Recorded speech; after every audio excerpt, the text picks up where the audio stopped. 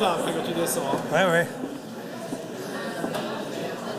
Laisse- Laisse-leur deux minutes hein, quand tu leur please take a seat. Ils sont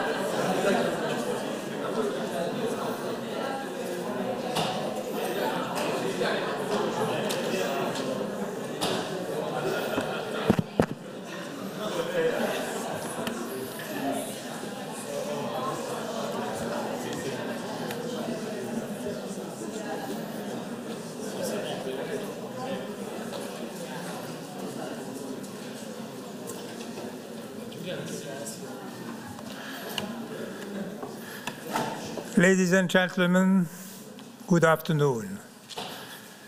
My name is Daniel Oswald. I'm the director of the course, and it's a great pleasure for me to welcome you all on the occasion of this presentation of the work prepared by our students all over the year.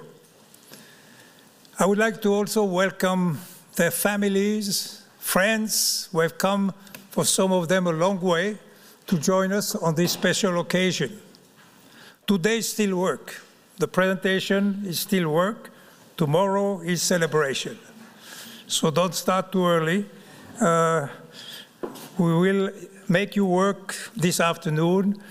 And as I said, what the students are going to present is the res- result of several weeks, even months of hard work, of research, reading, discussion, interviews uh, to present their final projects. I would like also to especially welcome Cinzia, who is the FIFA delegate, a lady who is the contact between FIFA and uh, CIES, and who is supporting us all the time, all the year. Thank you very much for being with us, and also for all the work you do in favor of the course and of CIES. Uh, I would like to not to lose time. We are already a bit late, so uh, and ask the group one to come and join me on stage to make their presentation.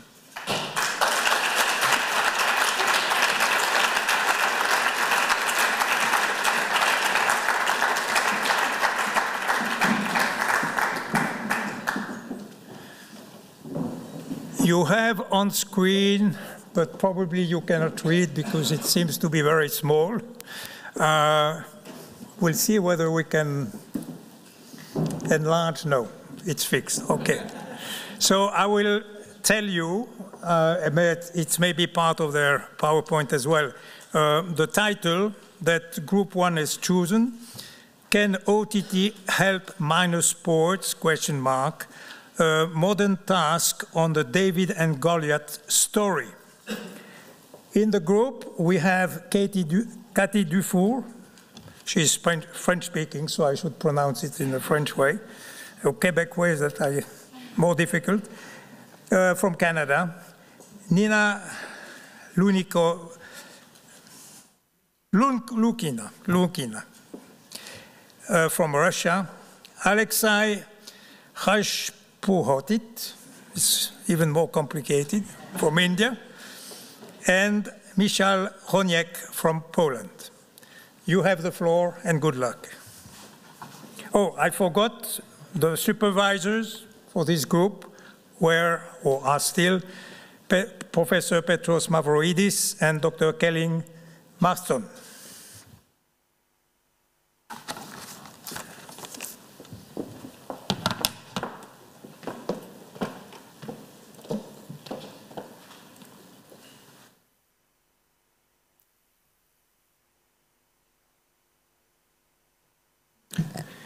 One, okay. Um, so welcome to Group One's presentation. Um, we'll kick the day off with a biblical reference to the book of Samuel. You may wonder if for a FIFA Master presentation this sounds slightly over the top. Well, it is, because our presentation answers the question when an over-the-top services can help minor sports to develop. But before we start, let's quickly define some key terms. Firstly, OTT stands for over the top and is mostly associated with Netflix and in the world of sports with DAZN. But in fact, it is every service who provides their content online over the internet to uh, directly to customers. And secondly, the story, the biblical story of David and Goliath. It, it's a story of a long and undecided fight between the Israelites and the Philistines. Eventually, it all comes down to one single battle between the best warrior of the Philistines, a huge Goliath, and a small and weak David. Against all the odds, David wins. Nowadays, the story came to me in an underdog situation, where a small opponent faces a bigger one. And our story is like this. We'll talk about minor sports, our David, trying to challenge the major sports, the Goliaths, in the sports world using the new medium OTT. And now over to Kathy for a short description of how the traditional media created the difference between minor sports, the Davids, and the major ones, the Goliaths, and how the new medium might change that.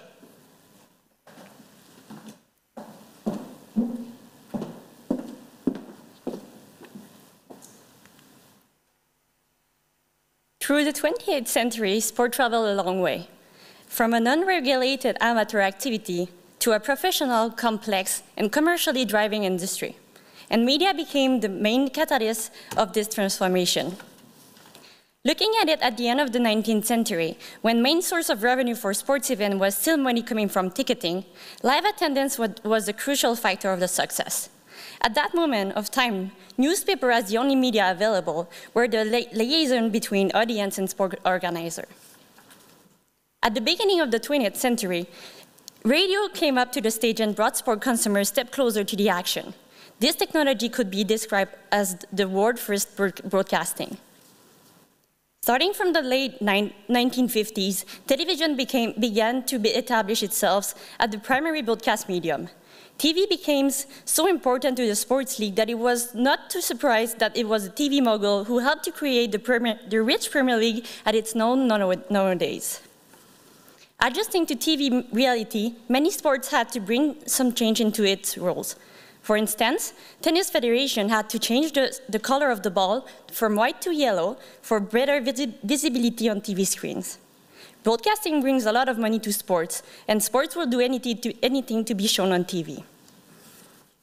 TV broadcasters, however, need to pay for a spectrum license for every channel they broadcast. This way, TV broadcasters have a limited airtime and need to use it as efficiently as possible. That, that's why they decided to spend money on premium rights, and these guarantee a return from a sub subscription fee. Because of this, not all the sports or league can be shown on TV and therefore receive money from selling rights. This creates a big disparity between leagues, leagues shown on TV and those who are not shown. This is how the media create the disparity between minor and major, major sport, and how it created the David and Goliaths of the world sport. But then, the new media, a new tool was created in this unequal fight. The scarcity of airtime change with over-the-top over services, also known as OTT. This, it is a technology allowing content provider to distribute streaming media like films, music, or sports, sports game over the internet directly to the consumer, bypassing telecoms and broadcaster. There is no more scarcity of, of space, and everyone can go live. Now let's go, let's go live.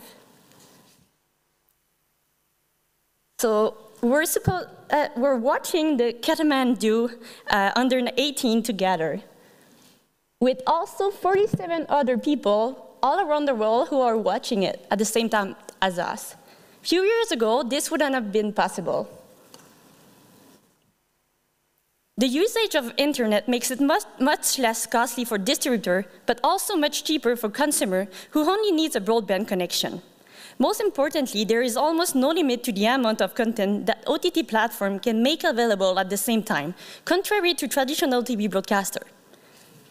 Thank you, Michael.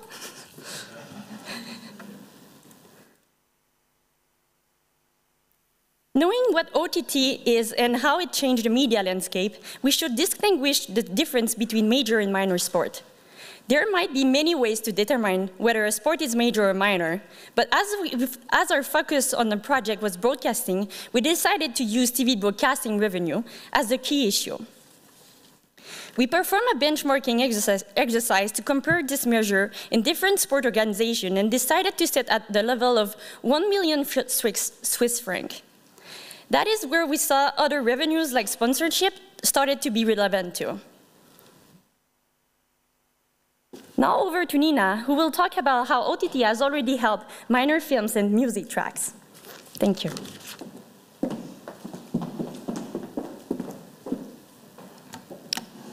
Thank you, Katie. So, OTT became a revolutionary technology for film and music industries. And while we're talking about broadcasting, which is a big, uh, an important part of uh, global entertainment market, we ask the question, can something similar happen to sport? Can this technology give an opportunity for minor sports and right holders to get more visibility and develop? Can David beat Goliath? To answer these questions, we uh, decided to explore experience of two leaders, game changers of the industry, Netflix and Spotify.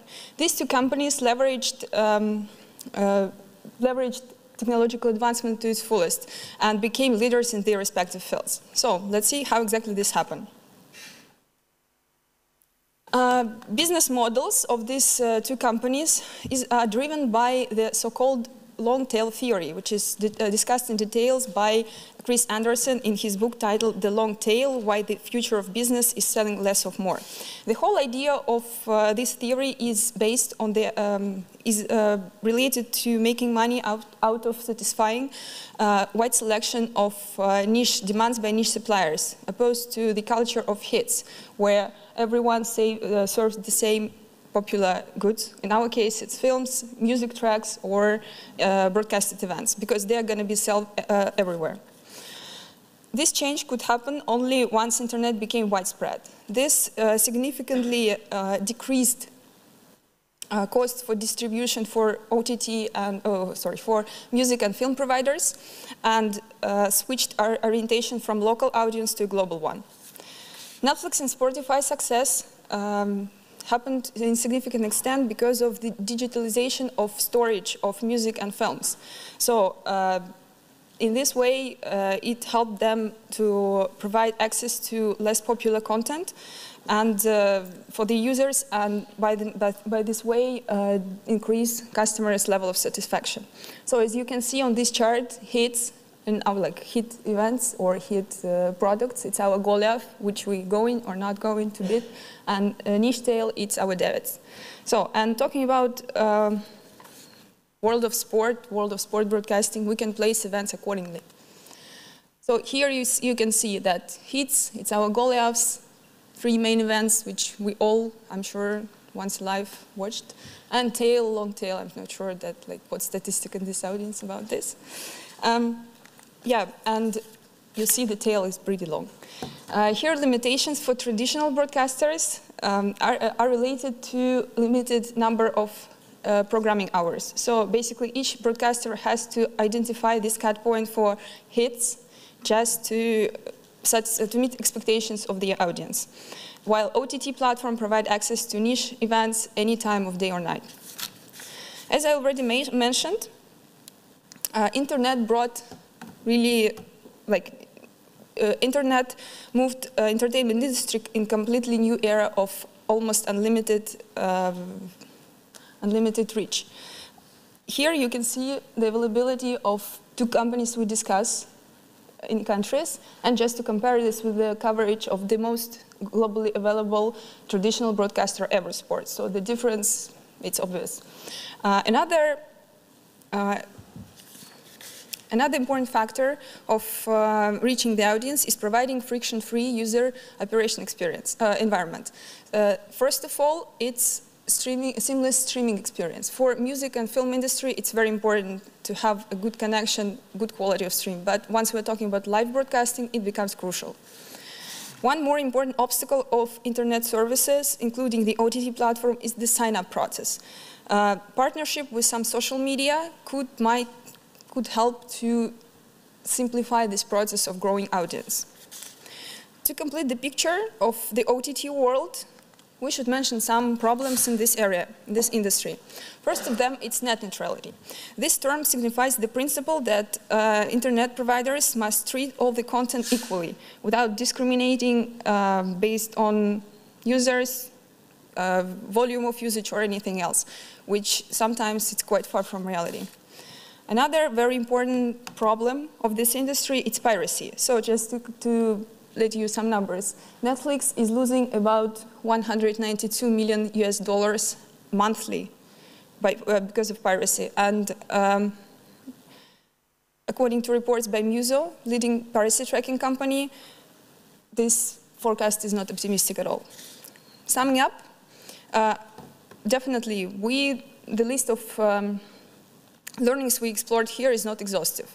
Uh, Netflix and Spotify brought much more into the industry, but here we came up with this selection based on the aim to provide some examples of learnings that we can transfer from music and film industry into sport. And now Akshay will present you our research on existing OTT models in the, real of, uh, in the world of sport.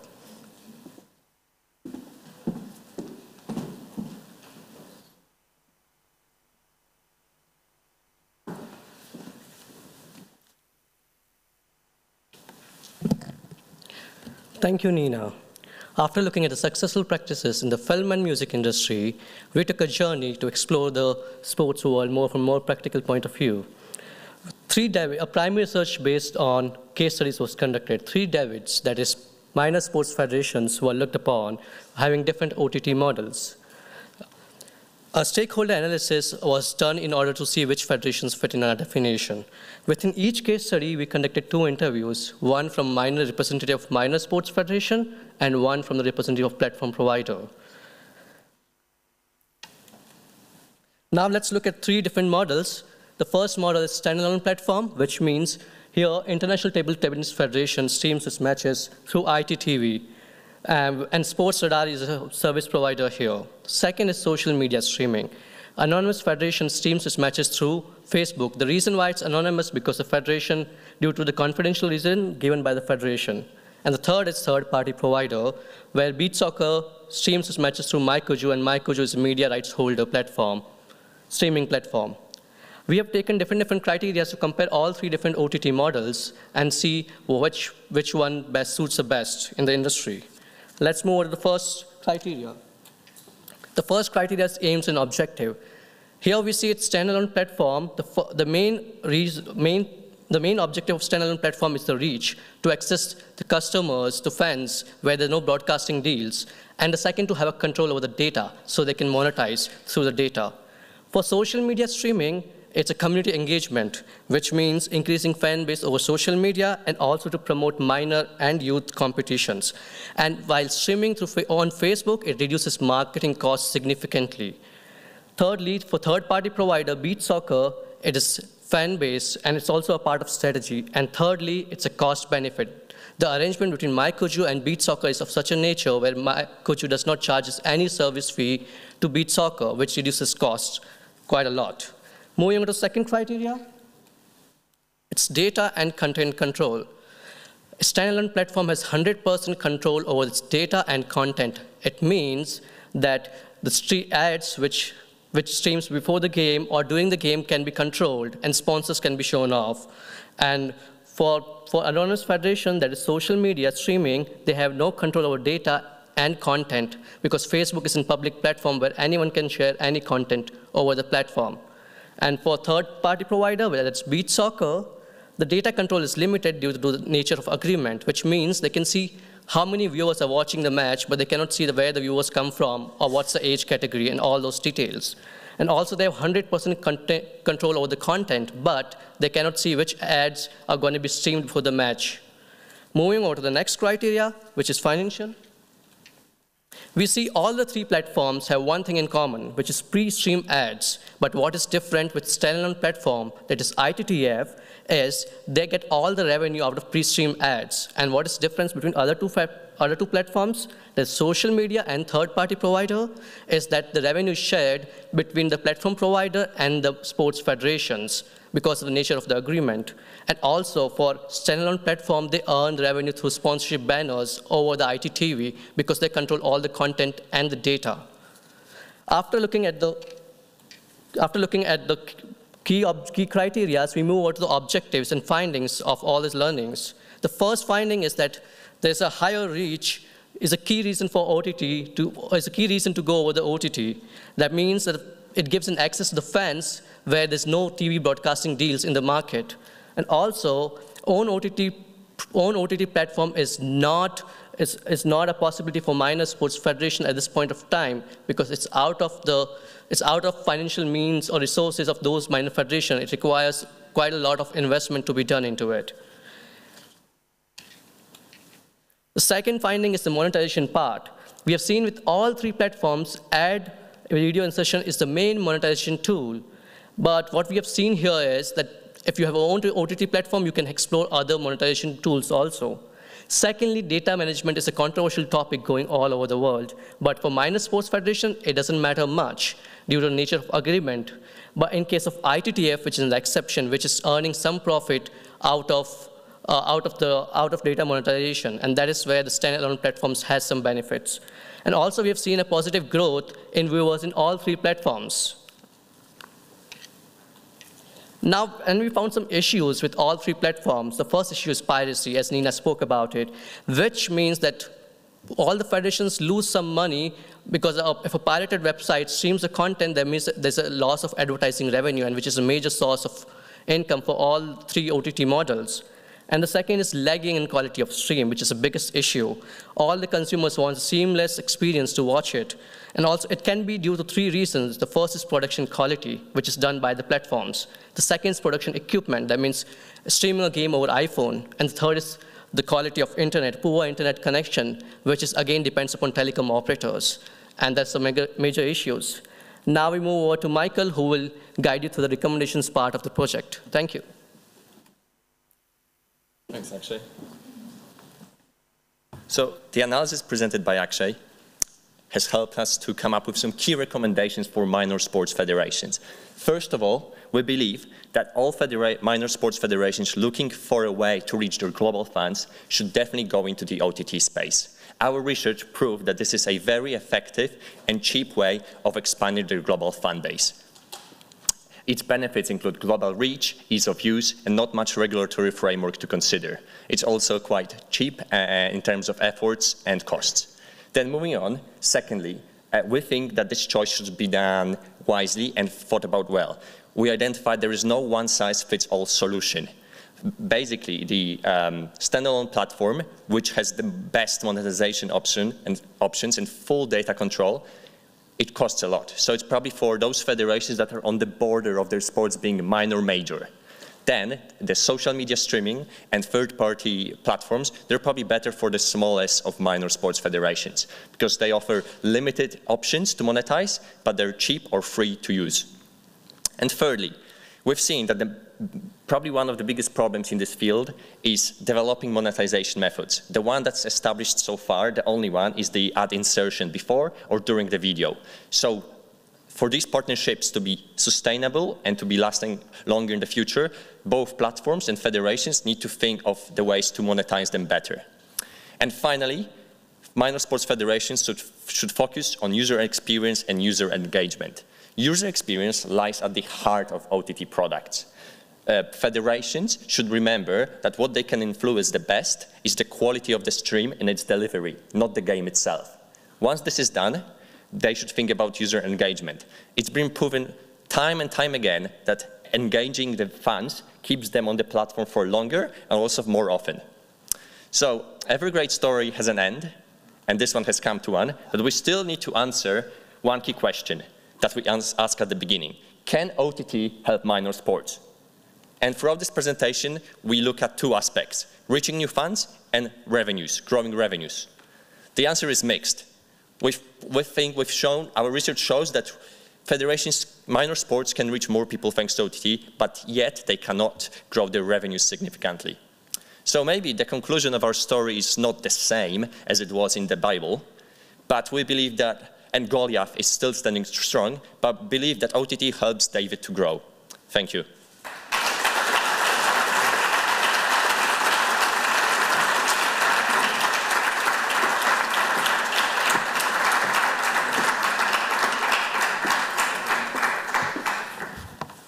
Congratulations for Group 1. It's always difficult to be the first group to present. You did it very well. Congratulations. Now we have a few minutes for questions. Everybody is, of course, allowed to ask questions. Yes, Joao? Hi guys, thank you. Uh, quick question. Wait, wait for the microphone. We have a slow, slow guy.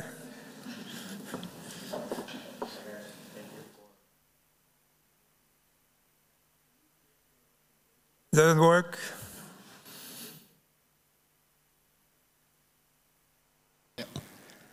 Thank you.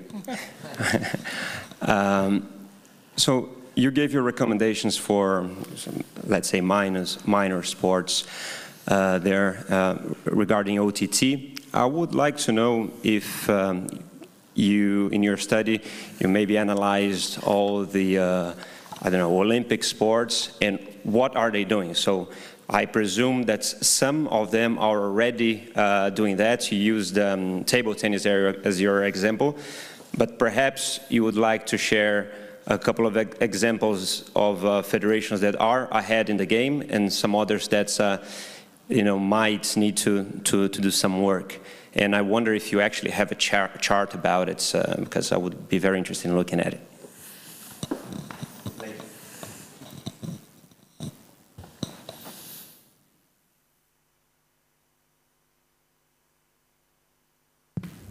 Thanks, Joao. Um, so we don't have a chart that presents how advanced different OTT platforms are for different federations. But what we know is definitely that the Olympic channel, started by IOC, is, a is an OTT platform for, the, for those federations that haven't invested yet in their own. So this would be an example of MyCujoo for, for Olympic sports. So this is a step of advancement. But we definitely have seen a few federations that put, are one step ahead. And we would probably include table tennis for sure. We would include FIBA. Uh, we would include Surfing Federation, yeah, they had a deal with Facebook. And also um, the Climbing Federation streams their events on, on Facebook as well. But this is definitely not an exhaustive list. But these federations we know are there and they're doing something. Thank you. Other question? Yes? What do you think of major sport but in minor country? Thinking of football in, in uh, minor countries, uh, is there a revenue, some revenue possibilities there?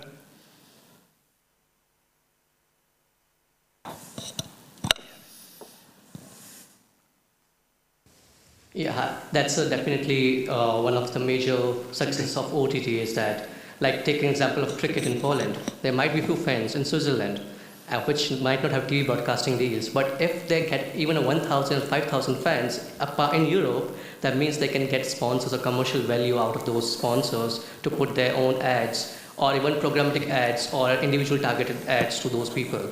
And they might get data and they might then they might get into those targeted specific regions to focus more into those areas. And that is where the OTT is a tool to help sports getting promoted in those areas and thereon they might increase commercial revenues out of it.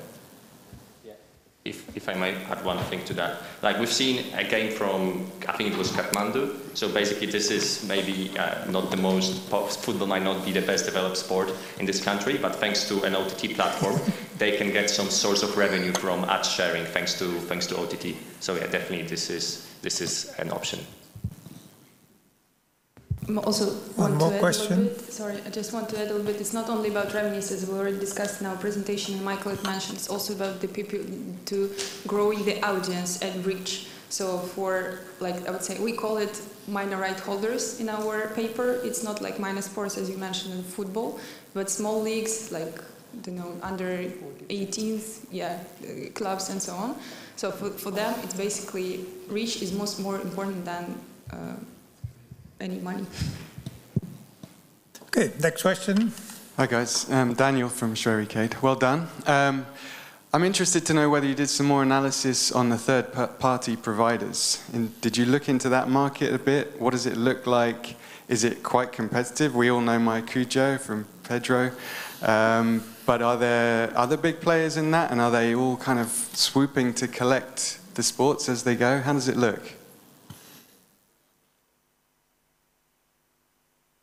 Okay, thank you for question. So we didn't do like a lot of research on this, but still, once like working in this area, we know that there are different kinds of cooperation in this market. Uh, World of Sport is pretty small, so and people, uh, people, but companies who are very experienced in this area, I would say call it, I would call Sportradar, which we talked uh, to because of ITT. There, like they have a contract and they have a partnership. Also, in front, they assisting some federations to set their own OTT platforms, and of course some platforms, as uh, we already mentioned, Olympic Channel and MyCujoo, let's say like platforms which collect rights to broadcast different sports on their platform. So basically, uh, it's not really competitive. It's not completely monopoly, but yeah, it's developing. Also, just to add in that, uh, when we talk about 11 and DAZN, they have a major rights, but when you talk about smaller rights, which is unexplored market, and that's where MyCujoo like gets all the rights for small, small federations, and then they, then they have a reach a community which they can engage upon or get commercials or advertising out of it. So it's, it's even a, a small league is watched by 1,000 people, and they have 100 of those leagues, which gives them the commercial data which they can further promote it. That's the major benefit out of it. Okay, and does MyCujoo have many competitors, or are they alone in that market? At, at present in the market, no. They are the first mover advantage. Just to add to that, MyCujoo also helps the hockey, federa- yeah, hockey federation in setting up a similar football platform, but for hockey. So this, but this, we wouldn't call it a, a, a competitor in this field because it's run by MyCujoo, but a different sport entirely. Thanks, guys. Okay, we have a very short time for a short question and a short answer. Professor Poli, then we, we stop. Sorry. Uh, I, I have one here. Or, okay, go, go. You have priority. he goes. Thank you, appreciate that. Congratulations for the presentation. I wanted actually to dig into your brains and, and, and get an out to you in the future, five, ten years, because you've been now digging deep into OTT. I mean, if every single minor sports creates its own audience, which they should, according to, according to your recommendation, um, how do you see the future? Because then there will be hundreds of OTT platforms out there, and they will compete. Will there be an Amazon effect where someone comes in and collects all the OTT platforms? Or what is your outtake?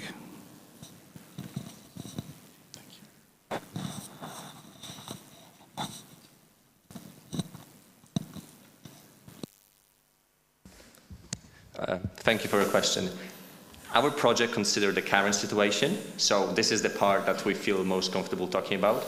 But when you ask about my personal view, then, then I believe that there will be an aggregator like MyCujoo for a very small football rights holder. But let's look at UEFA. UEFA started their UEFA TV right now, and they're trying to put those smaller, smaller rights out there to people. So UEFA decided itself to aggregate European football rights. So I think this is already happening. And when we say opening an OTT platform, choosing a solution of the, of the free provided. It could be joining a UEFA TV platform. That's why, that, that's what we think uh, Federation should be doing. Okay, this was unfortunately the last question. Time is over. Thank you very Talk much later. again. Congratulations.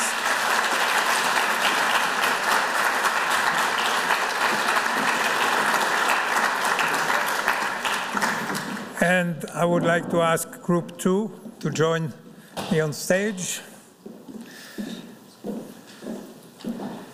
I gave you, in the meantime, the title of uh, Group 2, More Than a Buzzword, an analysis of the impending implementation age of artificial intelligence technologies in top-tier football. I won't repeat it, I hope you understood but you will know more when you listen to our students who are Ekaterina Bragina from Russia, Luis Gijardo from Canada and Colombia, Julian Smith from USA and Portugal, and Tarik Ayanovic from Bosnia-Herzegovina. You have the floor.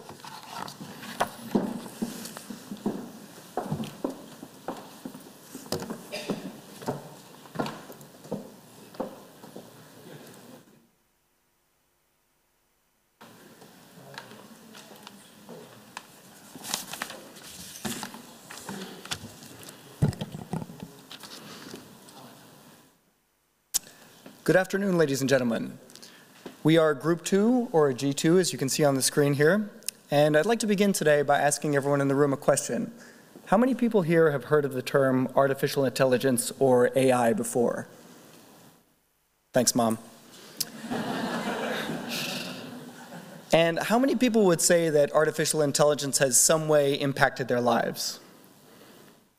Okay, quite a few, and I would guess that by seeing my colleagues' hands raised, you would notice that everyone in this room should actually have their hand raised. So we're here today to discuss the fact that while some see artificial intelligence as a buzzword, it's actually going to be entering an age of implementation soon in football. But why is this even relevant at all? The CEO of a sports technology company with whom we spoke actually summed it up quite well. Sports has been living in a very comfortable ecosystem for quite some time, but the world is now changing more rapidly than ever, and football in particular needs to be ready to adapt. Our thesis aim, aims to explain the potential of artificial intelligence, or AI, in football, why it has been vastly unexplored, what the practical applications of AI in football are that exist today, and what stakeholders can do to reap the benefits of AI already being absorbed in other industries. Our secondary research was mostly comprised of business-oriented articles simply because little academic research was available, which makes our thesis unique in that aspect. We supplemented that research by conducting primary research in the form of surveys and several conversation interviews uh, with various stakeholders in the sporting ecosystem, including representatives from governing bodies in football and in other sports, with technology companies, but we decided to limit ourselves to football clubs and leagues from Europe's top five leagues, simply because from a resources perspective, these are the only organizations that have the capability of looking into this sort of technology. Having explored historical, business, and legal aspects of the development and current state of technology and sport, and more specifically in football itself, we wanted to ask questions like, what is the current state of AI in the world? What is the current use of AI in football on and off the pitch? What are the missed opportunities there? What barriers and limitations could exist? Is any regulation needed for artificial intelligence in football? And what can we gather by looking at this all together? But let's start from the beginning. By looking at the historical uh, development of technology in football, we were hoping to gain some insight into why the current mindset is the way that it is. And sure enough, we found a common thread. Innovation in football has been a slow and laborious process. Let's take an example like floodlights. This is something that we completely take for granted today, uh, but was revolutionary when it was first introduced in that it allowed football matches to essentially be scheduled at any time of day, which is especially important during those dark, dreary English winters. During its initial implementation, this technology was expensive and unreliable, and it was therefore barred by the English Football Association on fears that football clubs would invest a lot of money in this technology but be unable to recuperate it. It took 20 years of supporter and club outcry before, uh, before the English Football Association decided to allow official matches to take place under floodlights. Years have passed and, foot, and, and, innovations in football have been few and far between, but we're now looking at a world of smart, advanced technology. But what even is artificial intelligence? As we were doing our research, we noticed that a few keywords kept popping up.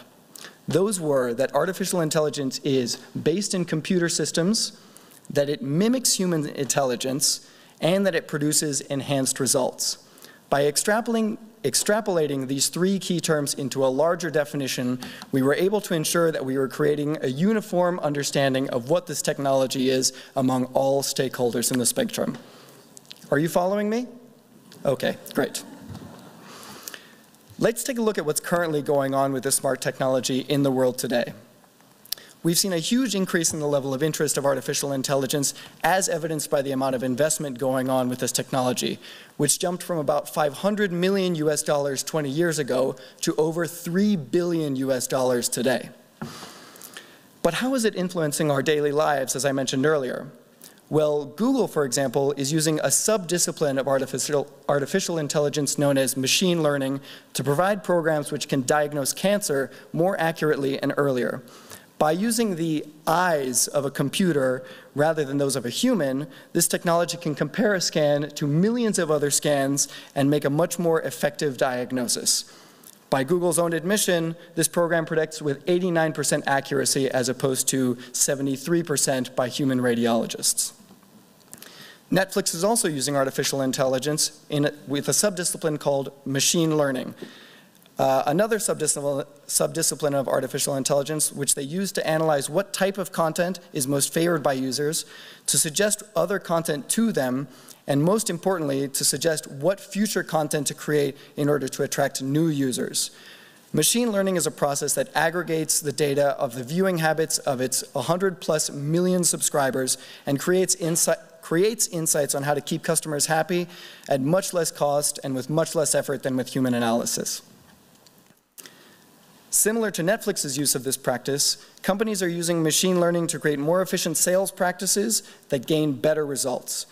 By feeding this program with financial data and other business informations of millions of different companies, it can help sales-oriented organizations build a larger network of potential leads and build more tailored sales packages that meet the needs of their clients. This has helped close more sales more efficiently. According to a study done by the Harvard Business Review, their sample using this technology was able to save lost time on calls by 60 percent. But now let's take a look at what's happening on the pitch with AI in football. Over to you, Tarik.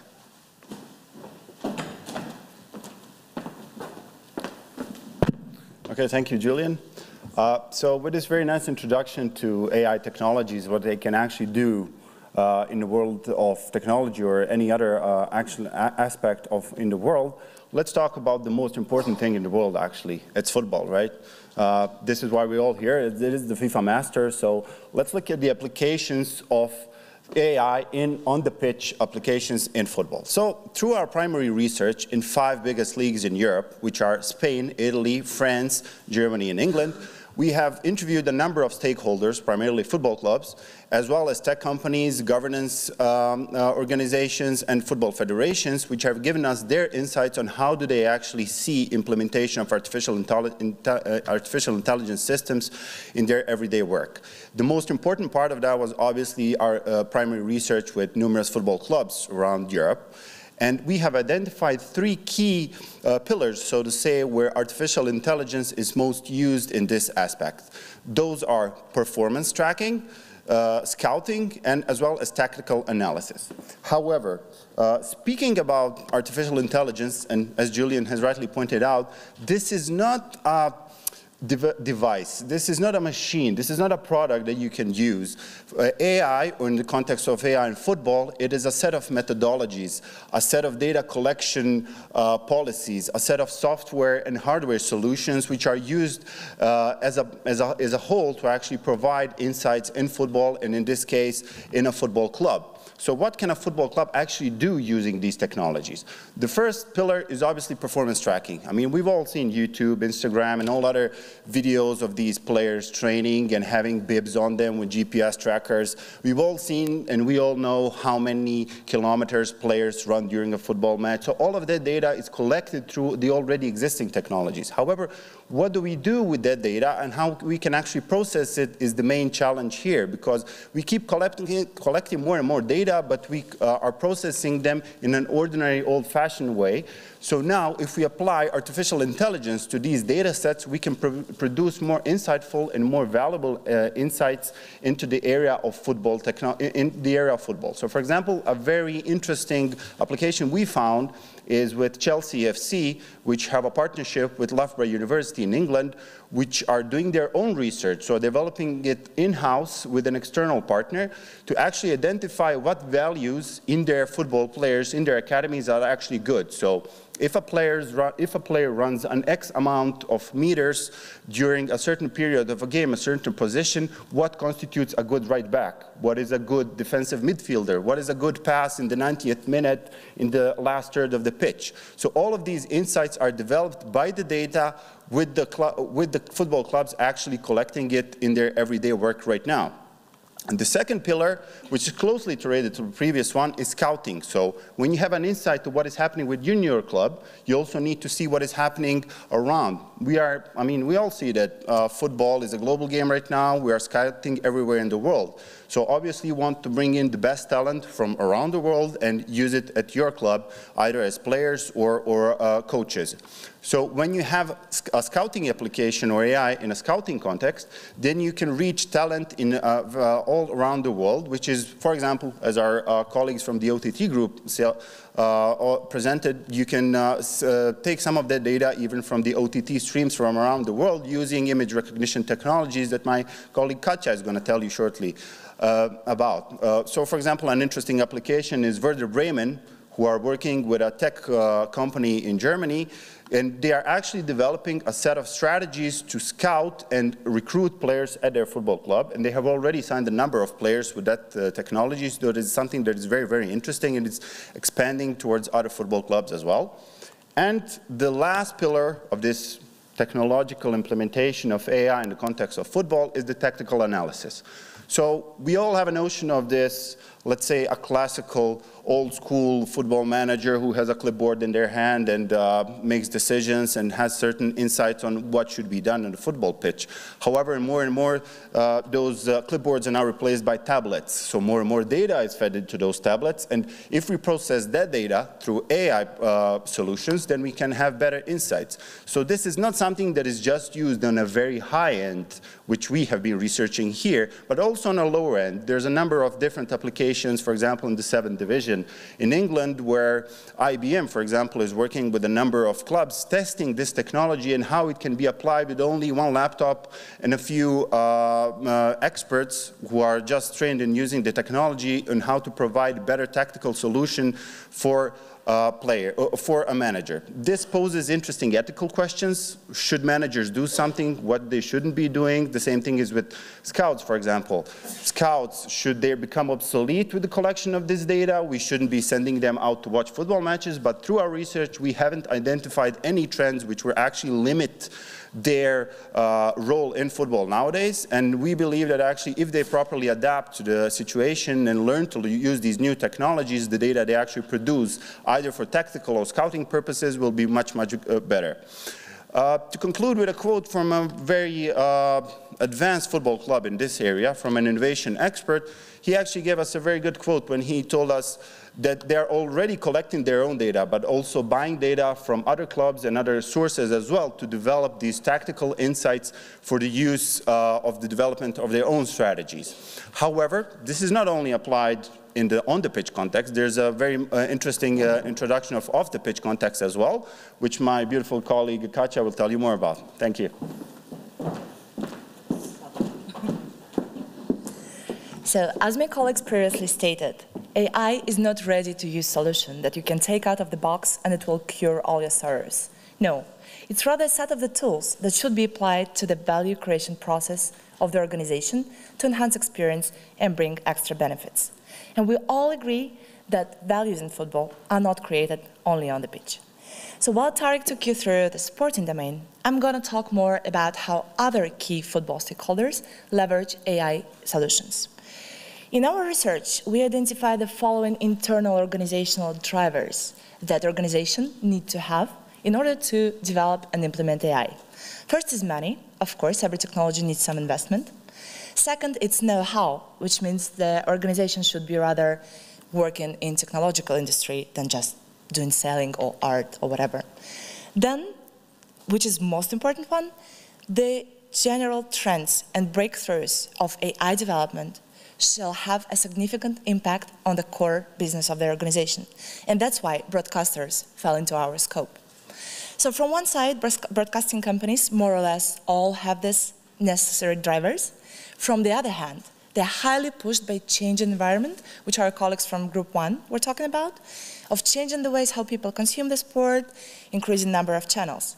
And it all leads broadcasters to a very simple managerial question. How to produce more and better content on lower cost. We analyzed the existing applications of artificial intelligence in football, and we briefly grouped them in three main categories. It's very important to mention that depending on the profile of particular broadcaster, they might be more or less interested in one or several of them. It's also important to understand that they all influence each other, because talking about labeling and tagging, for example, it's purely technical task, which was performed manually before. Now it's AI powered, so AI system can basically tag and label content and store it better. And then this content can be used for highlights creation. Also the content which has never been tagged before but was because it was just expensive. Now broadcasters can reallocate human resources for more creative tasks, such as storytelling, the highlights becoming a more personalized, again, it, it's all done on AI-powered basis, and a couple of words about automated production. As our experts stated, the fully automated football production is not there yet for top-level football matches, but it's coming there. The technology is available and basically used for two purposes. First, again, additional broadcasting of the content which never was broadcasted before. For example, Bayern Munich uses AI-powered solution to broadcast training sessions. And second, tactical fit, which my colleague Tarik was mentioning before. So it's not necessary that all these solutions are developed in-house which brings us to the next step. How does the market change? Of course, we see a lot of new players. Technology companies have been there for a while, telecom companies for 10 years, Facebook just recently stepped in. But we have another additional category of startups, technical football startups, who bring in particular solutions and empower broader platforms of Facebook, Amazon, Microsoft by particular solutions. And what's even more important, these new players bring new ways of all stakeholders' engagement, if I may put it this way. Because sponsors, for example, were out of the scope of our interviews. But talking to technical companies, we identified that in one of the European leagues, sponsors are paying for technical solution, which is brought by startups, to get the, to leverage the fan-generated content and other benefits of AI solutions. So as far as we can see, the industry is changing already now, but even more changes are coming. What's playing next, Luis?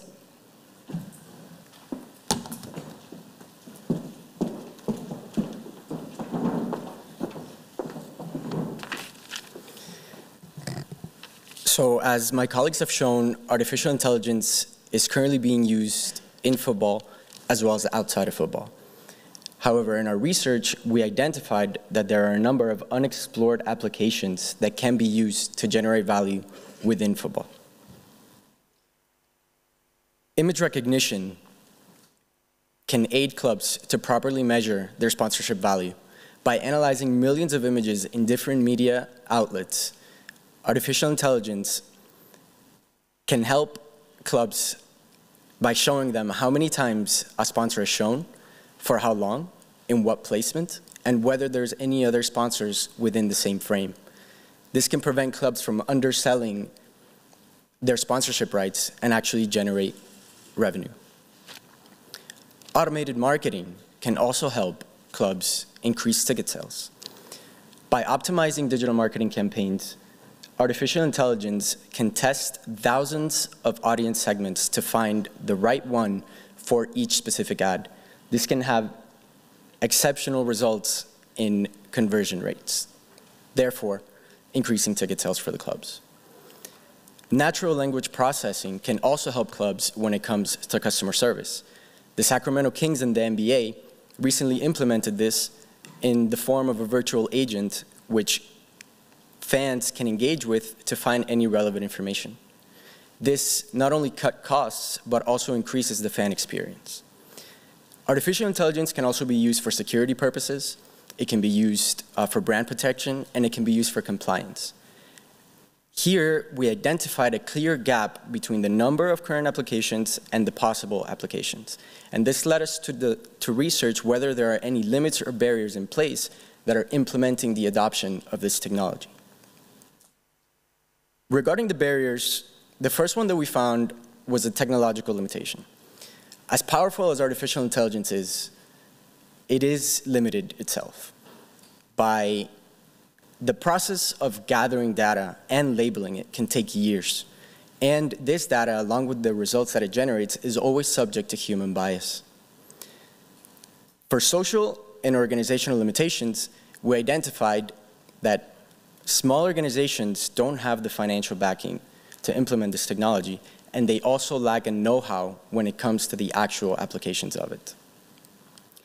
And regarding the sporting limitations, uh, we identified that there's a lack of vision and a lack of strategy in sports when it comes to technology, as well as a very fragmented ecosystem that is not ideal for the implementation of this technology. So there's some clear limitations here, and this led us to research whether we need more regulatory policies to further control this technology in the football world. And when it comes to regulation, we found that it's very much a buzzword. All the people that we encountered who are not experts in the field have an irrational fear of this technology because they don't understand the power of it. And although there are currently guidelines like the one um, provided by the European, by the European Union, um, the guidelines for trustworthy artificial intelligence, there is no legally backed regulation in place.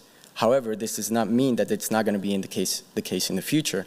In fact, one of the experts that we spoke with mentioned to us that given the rapid development of artificial intelligence in the industry, it's very likely that the subject of regulation will come to the forefront of the technological discourse in the upcoming years. So what does this all mean? Our findings are the following. Football, by nature, is traditional. Since its historic inception, it has a traditional mindset. And in order to really implement this technology properly and have a positive effect in the industry, the drivers of the technology have to have this in mind. They have to understand that this is a common sentiment in the industry if they're going to implement it properly. Also, football clubs and football managers currently lack vision and strategy when it comes to this technology. However, if they are able to overcome this intangible handicap and couple it with financial backing and human resources, they will be able to utilize artificial intelligence to gain a sustainable competitive advantage.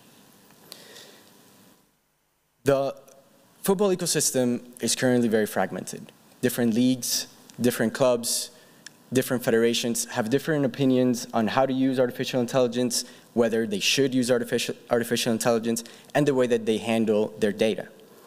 This is not very conducive for the implementation of artificial intelligence, and we believe that a higher degree of integration will lead to a better implementation of the technology in the football world.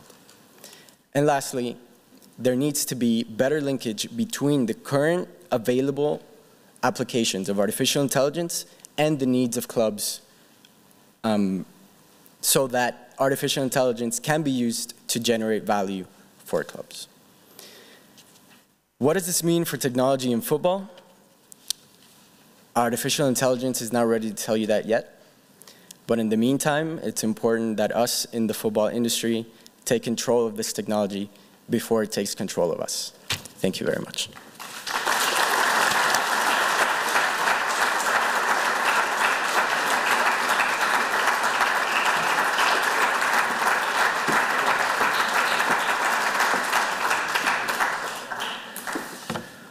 Congratulations, Group 2. And uh, before we move to question, I still have to mention that uh, the supervisor of Group 2 was Professor Poli. Uh, now time for questions. Yes.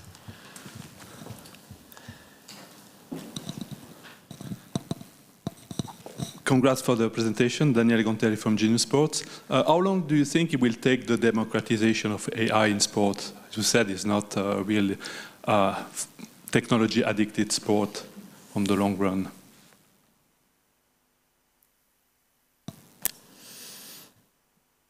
I mean, for the minor leagues or minor federations.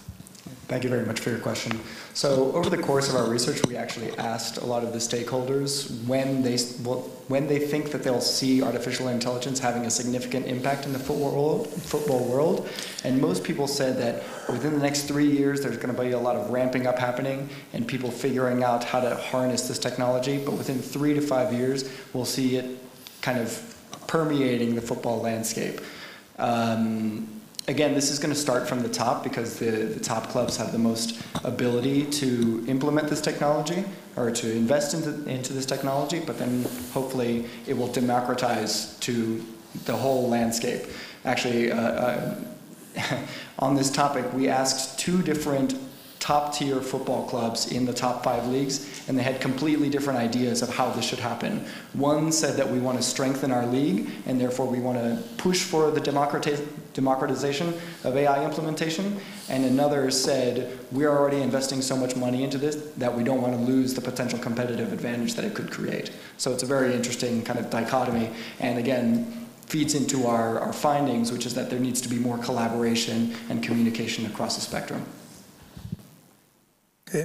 A question? Yeah, just to add on it briefly, uh, during our, our interviews with actually some of these football federations, we actually had a very interesting answer precisely on that question where they told us uh, their main goal right now when they're looking into AI is how to democratize it and provide it to their members. So, for example, we've already seen that certain football associations, at least in Europe, are doing that. For example, FA has publicly, uh, the English FA has already uh, dealt into the AI technologies by themselves. So how they actually apply to youth football and maybe youth schemes in the country is going to be interesting to see. But uh, for example, something that we're probably going to hear from our Group 7 here when it comes to Women's Football World Cup, I mean, which has just ended, I believe 18 out of the 24 uh, participating teams only collected performance data. So why 18? Not all, why not all 24? So this is not just democratization of AI. This is democratization of all these technologies which are currently applied in the world of football. Some may not have the resources. Some may not have the initiative or the know-how. So the democratization of AI will definitely happen uh, in a way that, as Julian said, it comes from the top and basically goes down to the grassroots level where you and I, when we play football, when we wear our Fitbits, at the end of the day, we might have some insights on how to improve our game as amateurs, for example. Thank you. Question? No other question? Everything was very clear? Professor Ruta.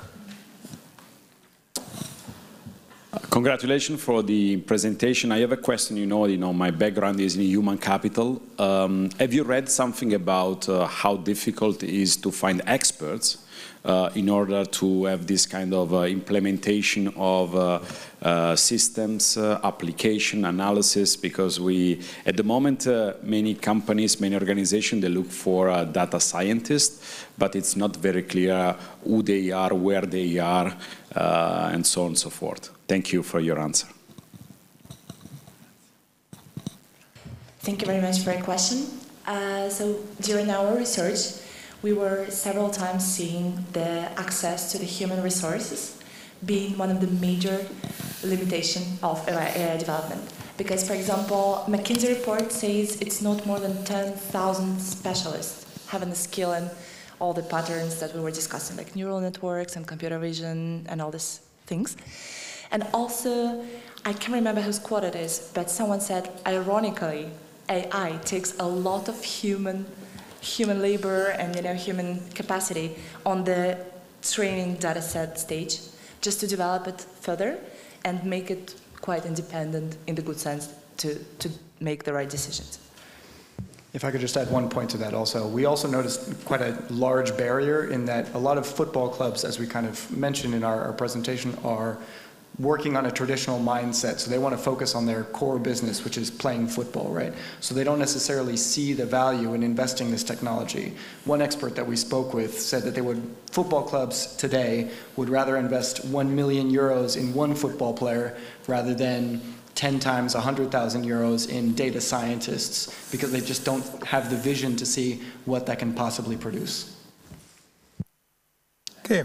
Thank you very much. Unfortunately, time is over, so no more questions.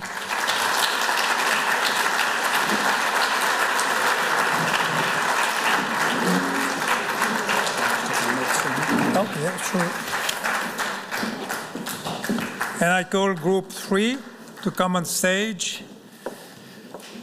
Group three supervisor was Professor Lanfranchi, and the title is Can Mega Events Be a Catalyst for Innovative Advances in Environmental Sustainability? In the group, we have Rajdeep Chandra Deu Banj from India, Paula Ramirez, Paula Ramirez from USA and Dominican Republic, Marie Shin from South Korea, and Eugenio Stopani from Italy. You have the floor.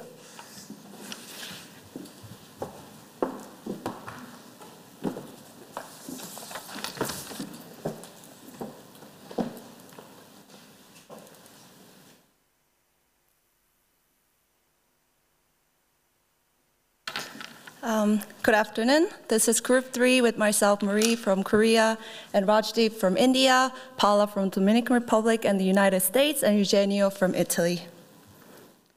So, did you know that 500 million straws are used daily in the United States? Um, it means that each person uses an average of 1.6 straws every day. And it's enough straws to wrap around the earth 2.5 times a day. So now let's talk more in sports context. So just two months ago, when we had Europa League final between Arsenal and Chelsea, uh, about 12,000 football fans traveled from London to Baku, Azerbaijan. And for this single match, they produced 5,600 tons of carbon dioxide, adding greatly to the um, global warming. This is equivalent of taking over 1,000 cars off the road a year easier comparison, um, it's 6,000 tons of carbon di dioxide is equivalent to average car that could be driven for 25 years nonstop. Considering that a single person can produce 10, 10 tons of carbon dioxide a year, 6,000 tons of carbon dioxide produced at this single football match is a big environmental problem. So why does this matter so much? Why is this important? According to the Business Insider, based on World Economic Forums conducted in 2017, nearly half of the survey participants of 31,000 chose environmental damage as the most serious issue affecting the world today. Sports being the number one activity in the world, we wanted to examine how these two can bring changes in terms of organizing the environmentally sustainable mega events based on the three pillars of sustainability. So mega events are classified as an international scaled event organized by a special authority with extreme high demand of media coverage and great impacts on economic, tourism, infrastructure, and many more. Therefore, we will be focusing on well-known mega events, which are Olympics and the World Cups. The three pillars of sustainability are social, environmental, and economic. These three areas are all interlinked. However, this does not mean that being green. These pillars imply that sustainability is about how an organization continues to run its activities in a commercially successful way while contributing towards a stronger and more just society and reducing its impact on environment. So climate change, depletion of natural resources, pollution, and destruction of ecosystems are all issues that directly affect human, humanity and its future. Therefore, environmental sustainability is one of the most important issues of our time. At the same time, sports is closely linked to the environment, as its practice relies on the availability and existence of natural resources such as clean water, air, mountains, lakes, and oceans. The lack or destruction of some of these elements directly affect the sports community all over the world.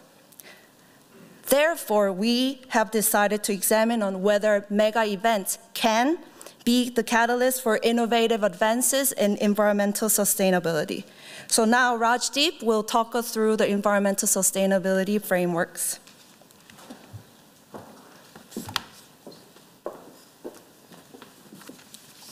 Well, thank you, Marie, for that introduction to environmental sustainability. Uh, to take a deeper look, we wanted to introduce a framework that uses the concept of waves to understand the role that the environment in, plays in sport as a way to uh, analyze the past, the present, and the future. The waves summarize broad changes that take place over time, but these changes also reflect a set of characteristics, practices that occur from one wave to another. Wave one is generated by the need to take action. This is when knowledge begins to emerge and sports personnel begin to develop um, awareness of environmental issues within their particular concept. Wave two deals with the growth of environmental activity. This involves the process of implementing environmental efforts into your daily organizational practices.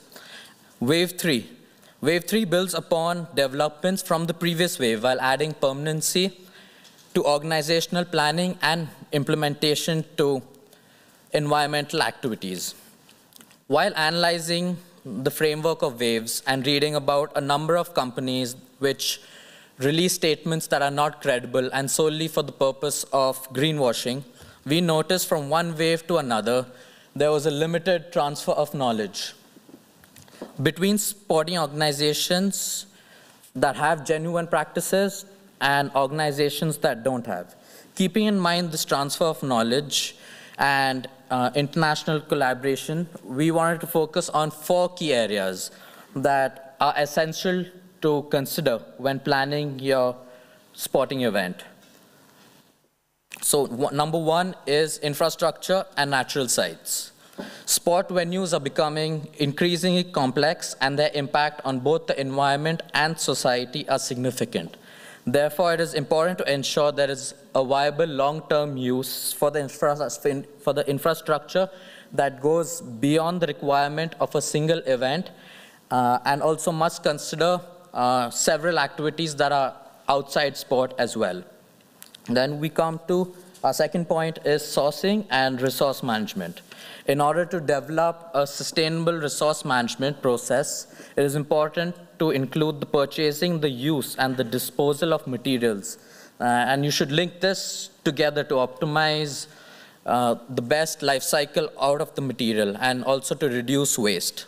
Third, mobility. Travel-related emissions are a significant issue in sports.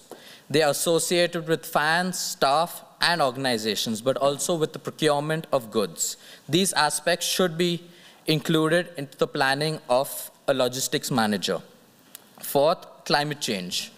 Climate change is constantly being affected by emissions. Hence, there is a need to measure uh, carbon footprints uh, and provide a baseline uh, to measure uh, which activities are creating the most uh, greenhouse gases. Uh, a great example of an organization with an innovative outlook and um, that implements all of these four areas is Formula E. Formula E was uh, actually centered on the concept of environmental sustainability and attainment. And some of the innovative practices include uh, recycling of kits, tires, and materials, energy supply, uh, sustainable procurement policies, uh, awareness campaigns, and finally, logistics optimization. Uh, and now Paula will go through some history and help explain some of the standards.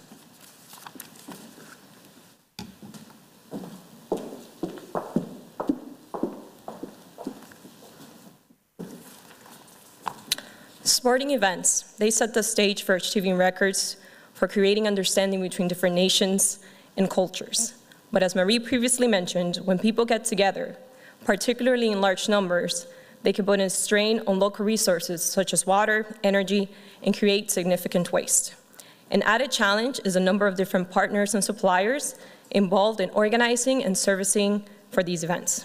So in response, nations, event organizers, and companies have begun to develop tools to address this issue, these issues.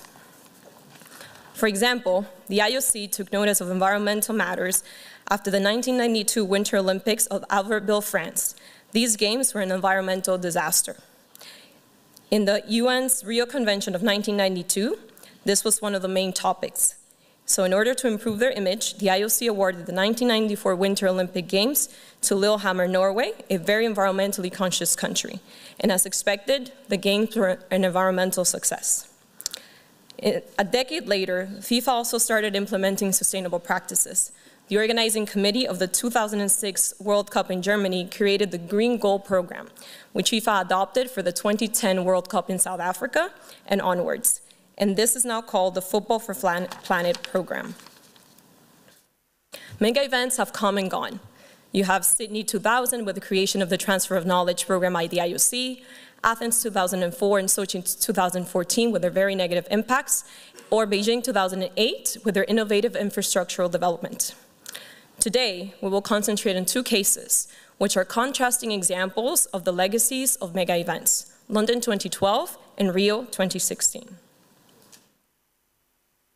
London 2012 can be considered a catalyst for change. Thanks to these games, the ISO 2012-1 standard was created and became a global sustainability standard for all event sectors across the board, not only in sport. ISO refers to the International Sports sorry, International Standards Organization, and the ISO 2012-1 is a voluntary certifiable standard for sustainable event management. It provides a framework, as you can see, for identifying potential negative social, economic, and environmental impacts of the events uh, by reducing or removing them through proper planning and practices. ISO 2012 offers benefits for all stakeholders at all stages of an event. For example, Coca-Cola used the ISO 2012-1 as their framework for sponsoring the London 2012 Games. Are you following me? Additionally, London 2012 not only planned, but they delivered. 98% of the demolition waste was recycled. 62% of the game's waste was reused or recycled. And the Stratford area in London was urbanized and is currently a lively shopping and leisure center for families to enjoy. For these reasons, some declared the London 2012 Olympic Games as the greenest games in Olympic history. On the other hand, Rio 2016 is a poor example of delivery of a legacy. Over half a billion US dollars were spent in the construction of the Rio Olympic Park, and the city currently owes 3 million US dollars just for water utilities. This park has become a white elephant, and it's only been three years since the Games took place. Among other issues, there were unfulfilled promises made by the organizing committee to maintain permanent stru uh, structures for public use and to reuse temporary venues to complete the legacy project. Three years have passed, and most permanent venues have been abandoned and the temporary venues have yet to be dismantled. These venues are not designed to last, so they need to be repurposed before they are deteriorating. Future Arena. It was supposed to be transformed into four state schools, but this may not even materialize at all. Currently, there's an urgent need for schools in the area, and venues such as this one are just sitting there. So as you can see, there are two very different results from the same event. This can be attributed to the level of organization and the commitment for the delivery on a promise. And now, Eugenio will speak about governance and the bidding process. Thank you.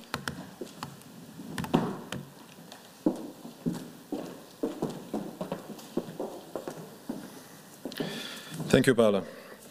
Indeed, environmental sustainability also affects governance at the bidding process of international organizations. So when we look at, for example, organizations such as IOC, FIFA, or the World Sailing Federations, they've all actually started adopting environmental practices and developing sustainable departments, develop strategies, partnerships, management systems, including assessment, reporting, and communication mechanisms. Notably, the IOC has developed a whole sustainability department and has made sustainability as one of the three key pillars of its long-term strategy, the Agenda 2020. However, despite these positive changes, we know that further progress is required, and we would like to see, for example, dedicated budget and dedicating human resources for environmental sustainability, also because sporting events are becoming increasingly complex and will be more and more in the future. Now, as I said before, of course, sustainability also affects the bidding process of international organizations. And we have already seen that bidding requirements have becoming mandatory regarding sustainability and will be more and more in the future. So for example, when we see the IOC post-2026 requirements and the FIFA World Cup 2026 requirements, we see that special focus, for example, put on carbon neutrality of the event, use of local resources and reuse of infrastructure, and also climate change solution for the long term. Within bidding, we have also seen that increased importance is given also to legacy. And why so? Because we want to see that further improvements and efforts are actually made by the local authorities to deliver benefits in the long term for communities and for the environment. Now, in the context of bidding overall, we have seen through our analysis that, for example, bodies such as FIFA puts more emphasis on actually reducing the carbon footprint of the event Whereas, for example, the IOC aims at reducing the impact of the games by requesting an assessment of the environmental impacts and legacies. Now, looking at the future, uh, we have seen, for example, that there is this new initiative that has been launched by the United Nations at the end of last year in December, uh, and it's called Sport, for Climate Action Framework, and brings together sport and non-sport organizations. So what is the purpose of this platform? It's basically to encourage sport and non-sport bodies to exchange information and practices about environmental sustainability. The signatories are, for example, IOC, FIFA, Formula E, and the World Sailing Federation, and the, their goal is actually to commit to actually promote further sustainable consumption, reduce climate impact, and educate for climate change through communication. Now, also talking about uh, future events, uh, we can talk, for example, about the upcoming Olympics uh, in Tokyo in 2020. And actually, sustainability will be at the core of these Olympics. First of all, there will be new initiatives, such as, for example, the use of recycled materials from phone batteries to make the medals for all the athletes. And of course, uh, innovative mobility solutions using electric vehicles and also hydrogen-powered vehicles, for example, with Toyota, will be delivered and importantly for legacy, the sale of all the Olympic buildings of the Olympic Village will actually be sold at the end of the event to the local population to deliver long-lasting legacy. Now, of course, uh, we cannot talk, not talk about Qatar. Uh, Qatar in 2022 for the FIFA World Cup. Of course, this event will be particularly challenging because of the local weather and climate conditions. However, we have seen by talking to the LOC that they will actually, the Qatari authorities will commit to deliver sustainable practices. So for example, they will use reusable parts and temporary parts for stadiums. They will actually use solutions in, which are actually very innovative for the region to reduce, for example, water demand. They will actually power part of the energy demand with solar energy. And they will use, for example, as you can see here in the picture, lines of metro linking stadiums within short distance to reduce environmental damage. So what can we actually say about this overall analysis that we've done? We have seen that, of course, sporting events can, and particularly those at bigger scale, can be a platform for change because of their popularity and their long-lasting memories, for example, as it happened positively in London in 2012. However, as Paula mentioned before, we have seen also that they can, can be also very catastrophic, as it happens in Rio in 2016 for various reasons, corruption, mismanagement, and also lack of delivering positive legacies for the local population. So we believe that holistic strategies should be developed with solid legacy plans involving local communities, and there should be also, at the end of the event, a solid transfer of power between local organizing committees and governments, which should take actually place, and in order to maintain, let's say, the promises made during the bidding process and to maintain credibility towards the general public.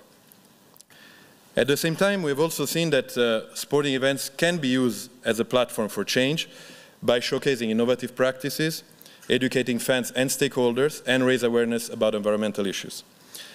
In this context, we also think that fans and sport and sponsors should actually be more engaged proactively by sporting federations and by local authorities. On the other hand, we also understand that sustainability is a long-term process which requires continuous involvement of all the sports stakeholders and non-sport stakeholders. And in this area, a key aspect is actually the transfer of knowledge and collaboration mechanisms within sport, but also outside of sport. So, for example, with international organization, industry, sponsors, and civil society. So, what can we say that about our question? What is our conclusion to the question, can mega events be a catalyst for innovative advances in environmental sustainability? We believe this, as I said before, that these events can actually change minds and sport can contribute to environmental sustainability due to its popularity. However, we also understand that this is a shared responsibility and real change have to come from all of us, fans, organizations, sponsors, and civil society. We have only one planet, and this is the biggest game of our lives. Thank you very much.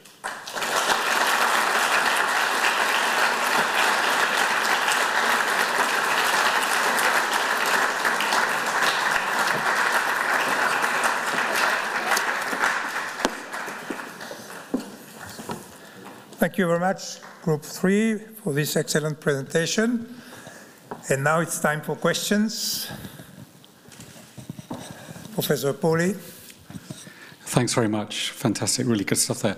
Quick question though about knowledge transfer. I mean, great that your projections for the future, but how on earth did the knowledge transfer of, of ISO 2012-1 not get learnt by the time of Rio, not get learnt by the time of Baku 29. I'm just really intrigued as to what are the, what are the, the barriers to that learning uh, not taking place so that each games can become better than the last.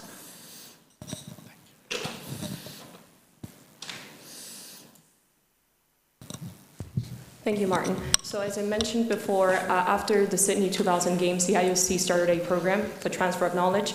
So it implies uh, having seminars, taking some members of the committees for the future games to the current games as observers. Uh, but what we have seen is, as you saw, 2012, four years prior, was more advanced than the following games.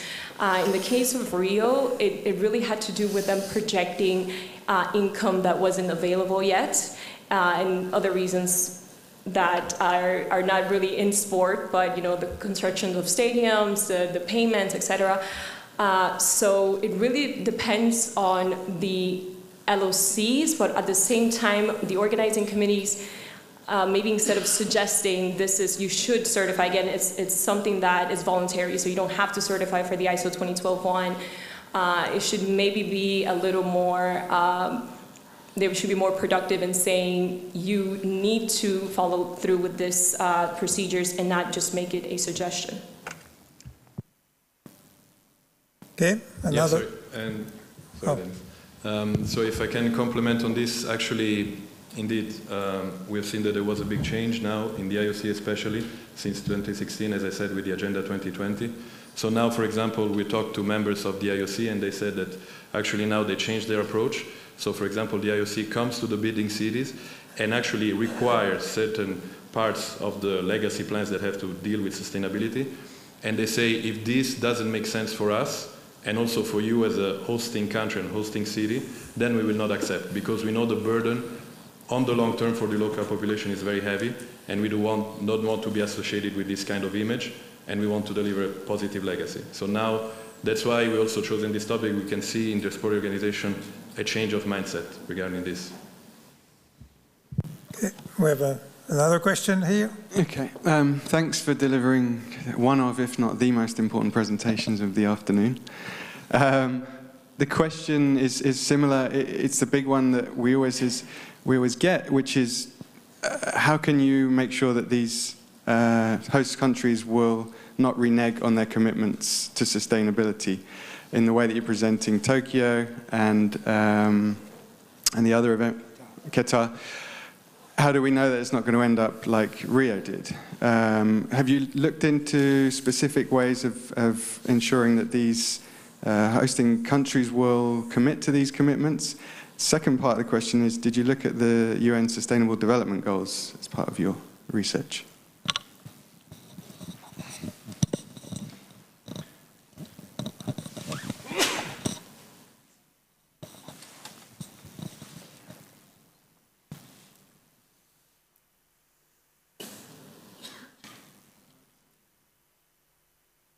Thank you for the question. Um, so again, uh, currently, the organizers do have requirements on paper. Uh, we had a few interviews with some uh, heads of different sustainability departments for organizations, and they said that they said it themselves. After you know, it's been three years after a game. There's not much you can do. You don't have jurisdiction any longer. Um, there should be something in the bidding process as well, just just like it happens with uh, changing uh, some national laws, for example, for having beers at stadiums. Uh, that that is changed. Obviously, during the event, is a little easier to control. Uh, and again, looking at statements, I feel that the issue with Rio, they, they had the intention, uh, but because of the crisis, impeachment of presidents, and other circumstances, they were just projecting again on uh, some revenue that they didn't have and that they thought that they would eventually have. So the intention was there. Uh, they were trying to, uh, for example, dismantle some of these venues and um, create those schools, but the again, it's sustainability, economic, social, and environmental. So since they couldn't handle the economic issues and social issues that were going on in the country at that time, uh, it wasn't possible, or they're still trying to make that happen. So it's just really taking in careful consideration of all of the promises that these uh, organizing committees make to uh, the organizers and in, in the bids. Yeah, sorry again, uh, to complement. Um, so for example, we've seen in the bidding documents, for example, for Qatar, that actually now the ISO 20121 is becoming mandatory if you want to organize the event, and it will be the same, for example, for the United Mexico and Canada World Cup in 2026. Um, and the requirements will be increasingly, let's say, strict for further events. That's why we talk about what is the horizon, what is the future. So for example, now we've seen a big trend in sporting organization require the complete offsetting of emissions of all the mobility, for example, climate change, all the air flights coming to the event and so on. And, um, and also we've seen that, as I said, there is a change of mindset also for sporting organization because they understand that in terms of public image, if they want to still organize these events, they need to be credible towards the public, towards the authority. And that's why in our analysis we believe that the actual involvement of governments after the LOC has finalized its work, it's crucial because once you drop the organization, then it becomes irrelevant. So, and uh, yeah, I, mean, I don't know if you. Maybe we go to the next question, otherwise uh, we won't have time for other questions. Uh, Okay. Marcelo, a former student, yes. Brazilian, maybe you can give us some insight about the situation in Rio. No, no, I think you know more than I, perhaps. Oh. so, actually, thanks. It's really nice. Ten years ago, I was in your side, so it's quite deja vu that I'm having different venue, but uh, really cool. Actually, it's really nice to see that this topic is really finally growing since the 90s, as you said. And now, I have actually two questions. Um, uh, based on that, the organizations like the IOC or FIFA, are they creating special areas uh, or departments that you can say to engage people into this is under uh, CSR, uh, social corporate responsibility, or they are in a way of environmental sustainability. This is this is something that I would like to see, uh, like see if there is any special special department taking care of this, and if there is any communication in between the organizations. Because I know Olympic Games is IOC, FIFA World Cup is FIFA, but are the organizations, that is something important for the world, it's not just for the event, is there any synergy, something in the Rio de Janeiro, perhaps they deliver not so good? Is actually, let's say, Qatar is learning with this? Are the organizations in touch about these topics, or each one is developing their own uh, strategy, considering that?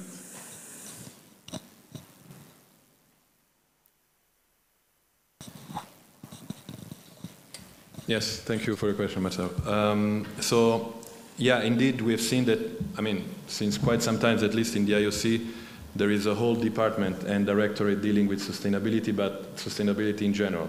So as we said, it's about the three pillars, so social, economic, environmental. Um, without going too much into details in governance, we've seen that actually the president, for example, the whole executive committee can actually propose changing to the strategy, then talk not only this department, not only with IOC as an organization, but also as a leader of the Olympic movement. So they talk with all the NOCs, all the federation, and they try to promote, and that's why they also have different activities now, for example, with promotion department about the games, what they're doing, how they're changing their approach to these events, so with the Agenda 2020 as I mentioned. And then platform for exchanging practices and information, as we mentioned. There have been collaborations with UNEP, so the United Nations Environmental Program, and also this new platform we talk about, so Sports for Climate Action. And we believe this is actually interesting because, for example, if you think about Qatar, all the environmental practices that will be developed there, we talk to the Qatari authorities, they say we do not want only to be developed within sport. We want them to be expanded outside of sport, for example, to the hospitality sector, if you have other big events coming to Qatar. And also we want to develop outside of Qatar, so to the whole Arabic Peninsula. So you can see that this is actually a more proactive approach that goes much beyond sport. And through these, let's say, mechanisms at the international level with the United Nations, for example, it will provide a platform for continuous updates, exchange of information, not only within sport, but also outside of sport. So. Okay, uh, unless there is a really burning question, I suggest we stop here. Thank you very much. Group three.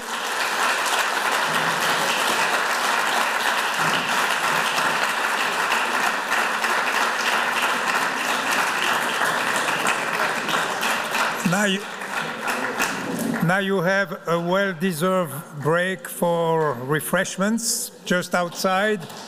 Unfortunately, we are a bit late, so I have to ask you to be back at 10 to 4, or 10 to 3, back in the room at 10 to 3.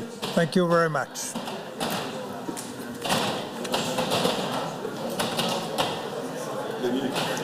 Sorry for that. no, no. but you know, last week in Brazil, the, the media was quite to the thing because as the as, as government was in the prison, the foreign and this was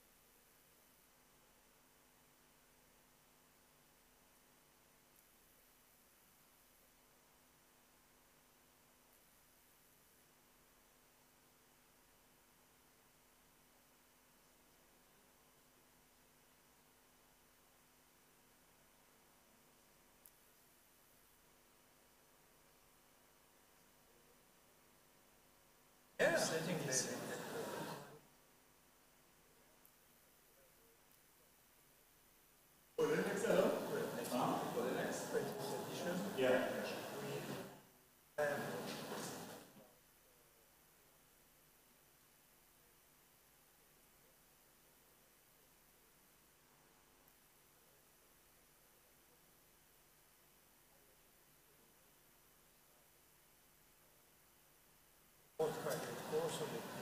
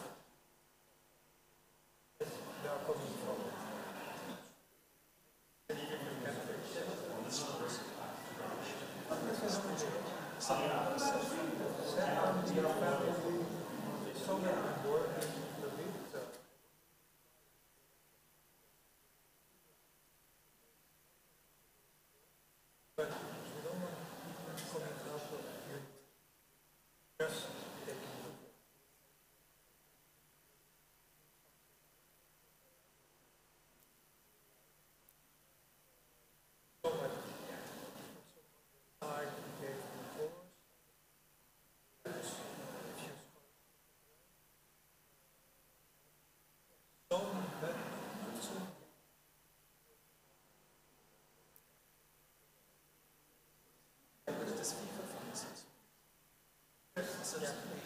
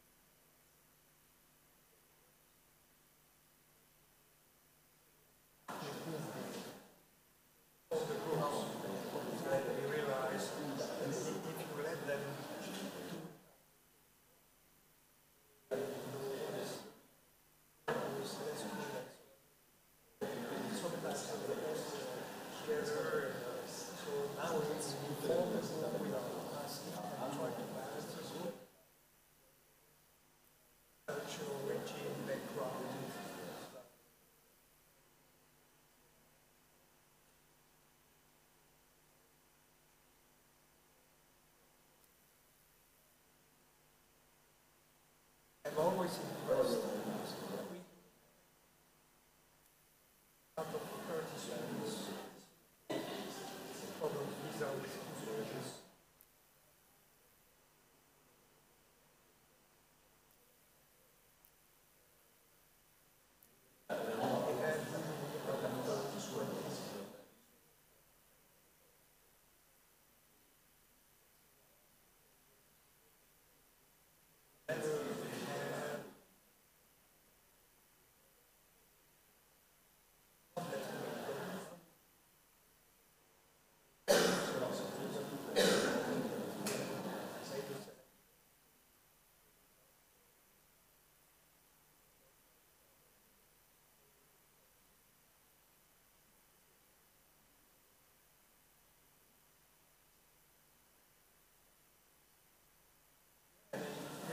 We.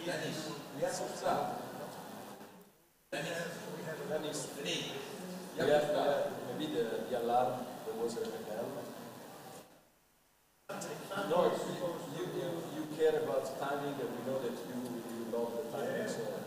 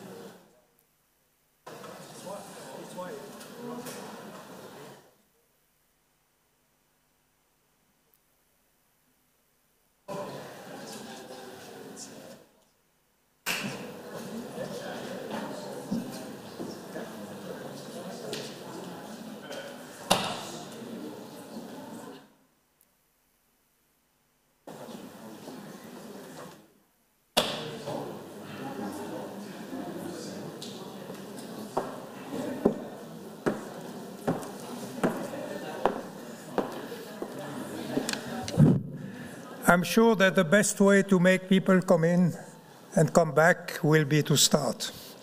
And when they hear that we are speaking, then possibly they might come inside. Take your seat. It's just to threat them. I don't want to deprive you from a good audience anyway. But uh, I said 10 to, and I cannot understand that 20 minutes later the room is half empty.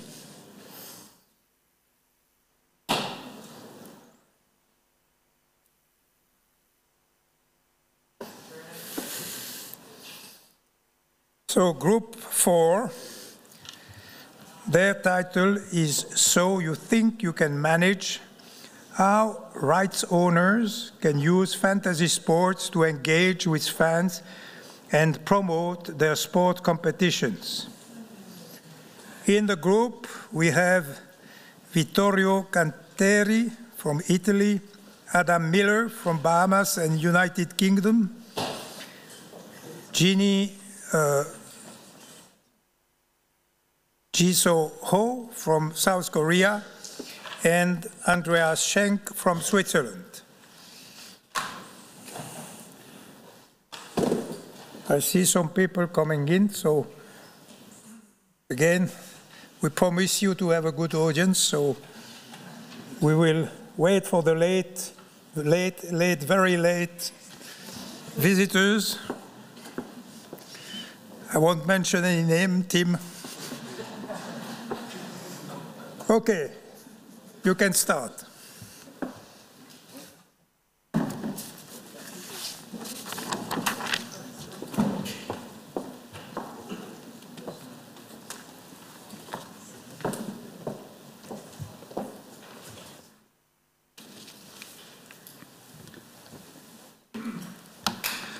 Good afternoon to the Scientific Committee of CIES, fellow colleagues of the FIFA Masters 19th edition, and invited guests.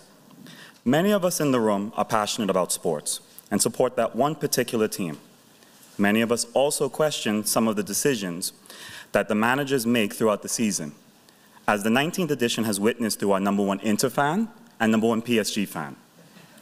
But did you know that there is a game out there that allows you to make managerial decisions and prove to your friends and family that you are, in fact, the best manager around.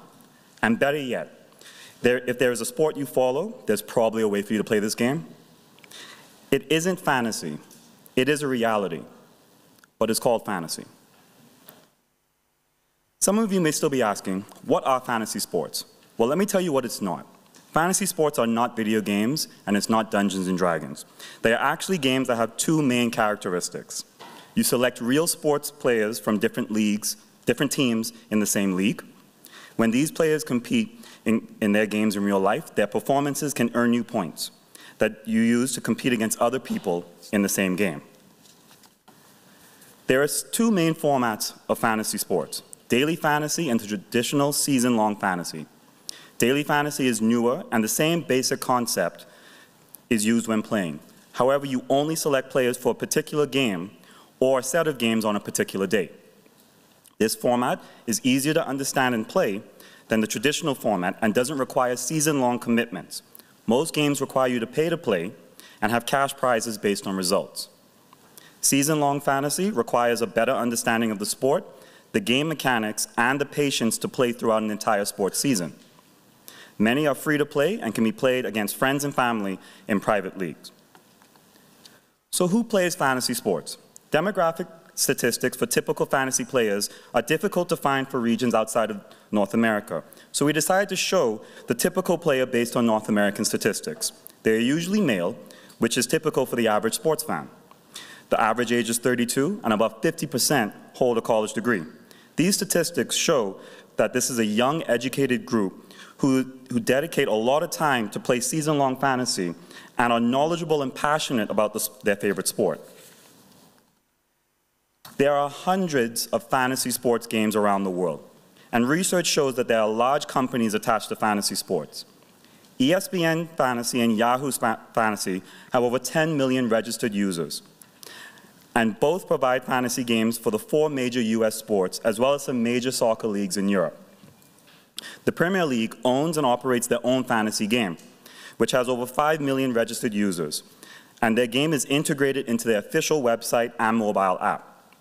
Dream 11 is an, is an Indian fantasy sports operator that provides daily fantasy games for a variety of sports to over 20 million users and is currently worth over 1 billion US dollars. So yeah, there's a lot of people playing and a lot of money involved. As the competitive group we, that we are, the 19th edition held our own fantasy league on the Premier League app. And as you can see by the top half of the standings, it was very competitive. Using these final standings, we will now go through the different aspects of fantasy sports that we researched to discuss how rights owners can use fantasy sports to engage with fans and promote their sport competitions. Ginny, who did not place in the top half of the table, will discuss our research findings on how some sport organizations utilize fantasy sports. This portion of our research was done through interviews and various platform analyses. Andreas, who just made it into the top half, We'll then discuss some legal aspects that must be considered when operating these games. And Vittorio, who is our undisputed champion of fantasy, will discuss how fan behaviors can be affected through fantasy. This area of research was comprised of a dissertation analysis and a survey based on this dissertation. So Ginny, how are these fantasy games managed?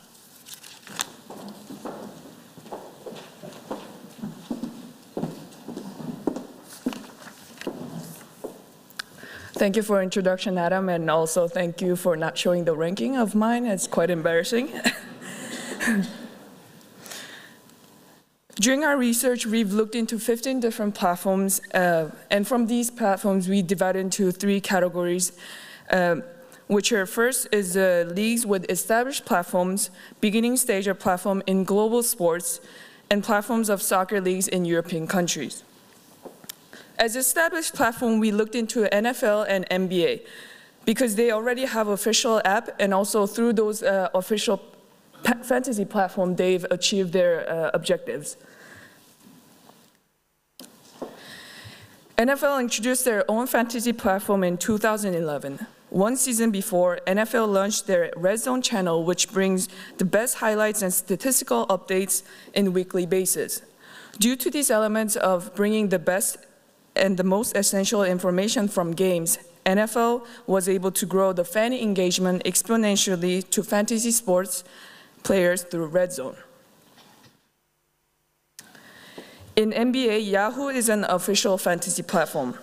NBA Fantasy is not only not as big as NFL. However, NBA has utilized their fantasy league to exp expand internationally. NBA saw the high demand of fantasy basketball in India. So instead of NBA running their own platform in India, they licensed out to Dream 11, which is the most played fantasy platform in India. Through this partnership, NBA was able to reach the Indian market more effectively.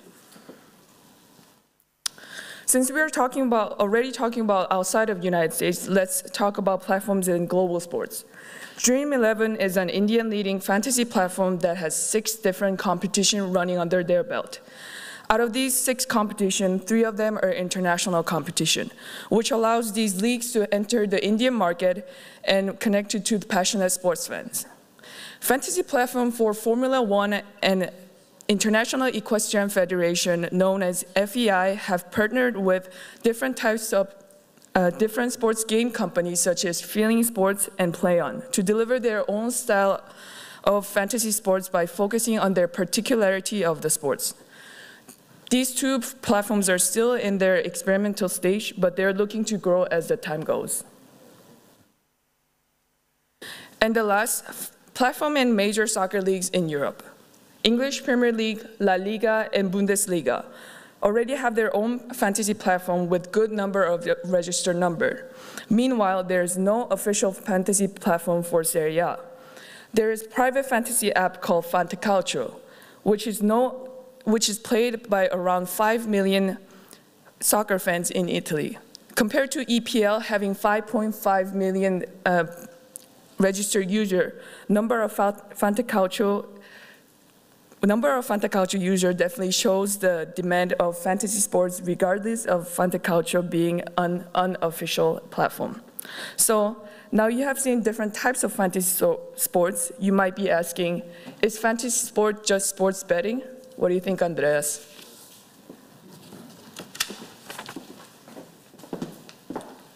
Thank you, Ginny. Well, as usual with legal questions, the answer is it depends. How fantasy sports are treated from a legal perspective mainly revolves around the question of whether the, is, the game is considered more based on skill or chance. There are diverging views on the level of luck involved, and that imp impacts regulations of fantasy sports. Depending on the dominant factor perception, fantasy sports might or might not be subject to gambling legislation. There is academic evidence that fantasy sport results are by and large derived by skill. An MIT study conducted in 2018 conduct, uh, confirmed this hypothesis. The researchers designed a relatively smart algorithm to generate random fantasy teams.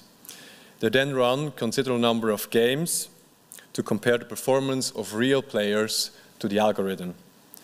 Real players consistently outperformed. Platform operators started to develop formats which would last either a whole season or just a single match day. The latter became known as daily fantasy sports, and the outcome is more based on chance than with a season-long competition. The playing nature of daily fantasy sports moves the format into a grey area between fantasy and sports betting. There are diverging views in different jurisdictions. The USA have the most mature fantasy sports industry, but their platforms continue to operate in an uncertain legal environment. To date, US lawmakers are not convinced that fantasy sports can be separated from sports betting.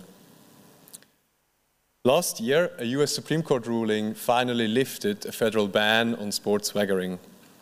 This could be a starting point for more specific regulation on sports betting and fantasy in more US states. In India, fantasy sports are a relatively young phenomenon, but regulation is more developed than in the US. Indian laws make a distinction between games of skill and games of chance. Since 2015, several states have introduced licensing regimes for legalized skill games. This was followed by a Supreme Court order, Supreme Court decision, reconfirming fantasy sports as skill games, which helps the industry to grow further. In Europe's main markets, there is little to no regulation. Britain allows fantasy sports as long as they are free to play. In Italy, on the other hand, where fantasy soccer is extremely popular, there is no specific regulation. The same is the case for Germany, Spain, and France. So we have talked about the people who run fantasy platforms and the legal framework, but what about the people who actually play the game? Vittorio, can a fan's habits be altered through fantasy?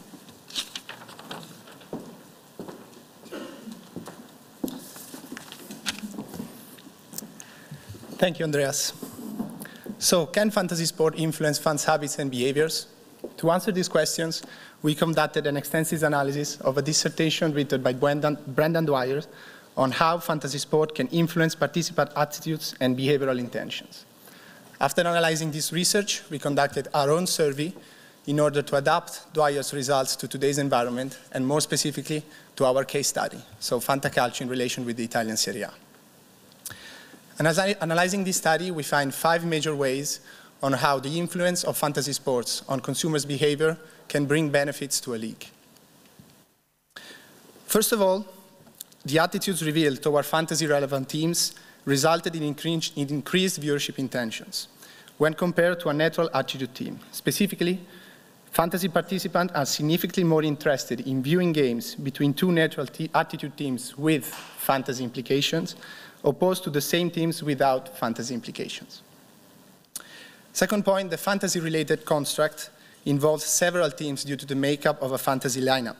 Therefore, the league as a whole can benefit from this increased interest in individual players through an altered fantasy-specific perception. In addition, to that, in addition to that, league officials and their subsidiaries should not be deterred by the lack of direct financial benefits associated with fantasy sports, for it appears to be an excellent brand-building activity. And as a fourth benefit to support this theory was demonstrated that individual leagues have an opportunity to cash in on the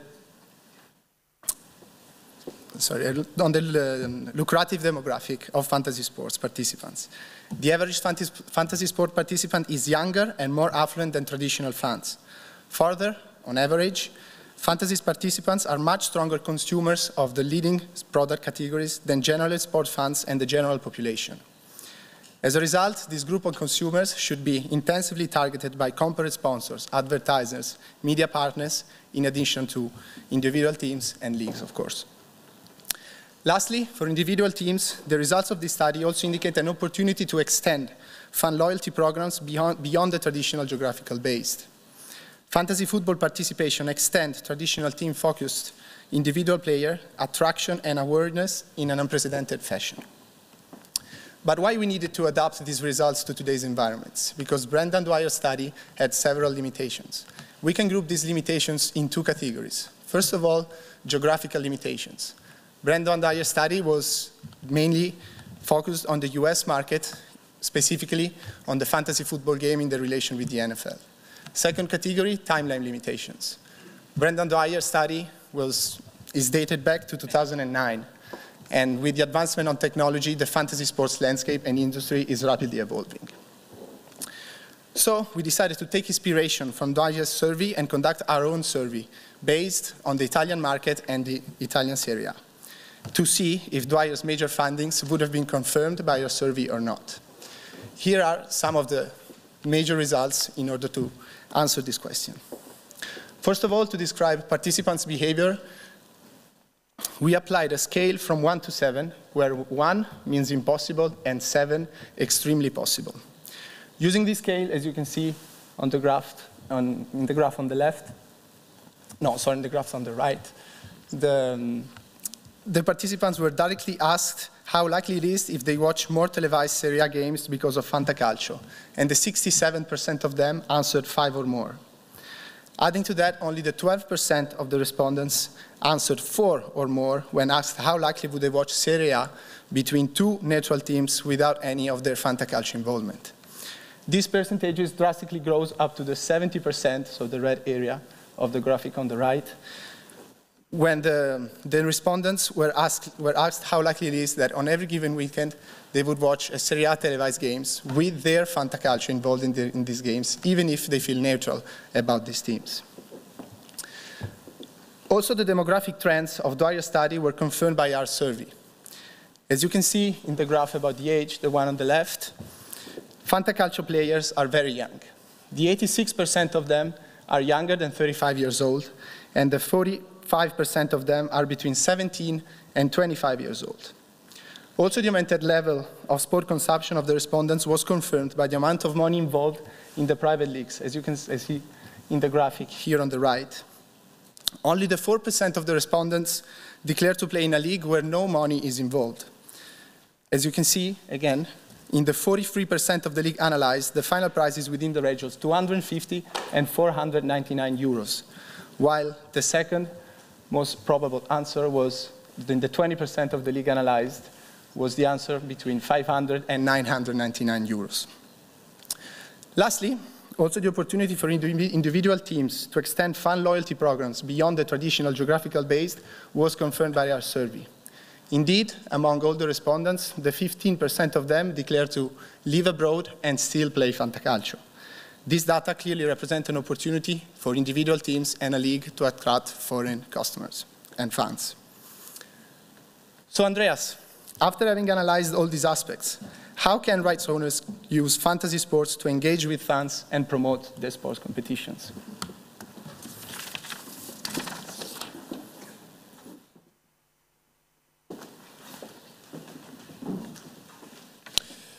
Based on the learnings from our study, we would recommend the following seven points to sports organizations who were to set up a fantasy platform. Number seven, find a suitable jurisdiction. A platform should ideally be introduced in a jurisdiction where fantasy sports are regulated and acknowledged as a game of skill. This would avoid being subject to stricter gambling legislation, and hence the platform can be set up in a more cost effective way. Attract partners or license out the official fantasy game. If the sports organization does not have the capabilities to run their own fantasy game, they should partner up with an experienced operator. It may also license out to someone operating their official fantasy game. Experienced operators understand how fantasy players think and have the resources to, resources to manage fantasy games efficiently. Nurture on data. Owning data on player and team performance is key.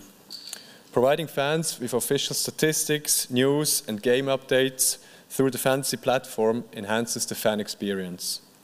Also, the new organization will be able to collect data on the fantasy player base through the platform. One way to engage with fans would be to link the fantasy app to the official store where fans can buy their favorite player and team merchandise. Four, take the right game format. Considerations must be made regarding the format of the game that best fits the competition. Whether to have a season long or a daily fantasy game, or both, depends on the fan engagement strategy. The fantasy game must be able to create some sort of statistical basis. These statistics should be easily understood so that the players can incorporate a certain level of skill. Hope you're still following me. Three, approach it simply. When launching a new fantasy sports game, it is important that the player selection and squad management process is relatively simple. Complicate, complicated process may deter, may deter newcomers. The fantasy game should be fun and allowed to compete with family, friends, and other communities. Two, sweeten fantasy participation through sponsors. Most players gain enjoyment through social media. I'm oh, sorry, most players gain enjoyment from performance against friends. However, having a reward system for high achievement can create more interest in the game and encourage players to invest more time. Such a reward system can utilize existing or new sponsoring partners. Creative prizes can add exposure to both the sport organization and the partner. And last but not least, yield more through social media. A sports organization could consider social media opportunities for the, for the fantasy game. It could create separate accounts focused solely on the fantasy game, providing instant information and allowing their community to interact. Throughout the year and our FIFA Master journey, we realized that engaging a younger fan base is a challenge for many sports. If you were to take away anything from our presentation today, it should be the following. Fantasy sports can be an opportunity to connect and engage with the next generation of sports fans. Let's not miss out on this opportunity. Ladies and gentlemen, thank you very much for your attention. We are ready to take your questions.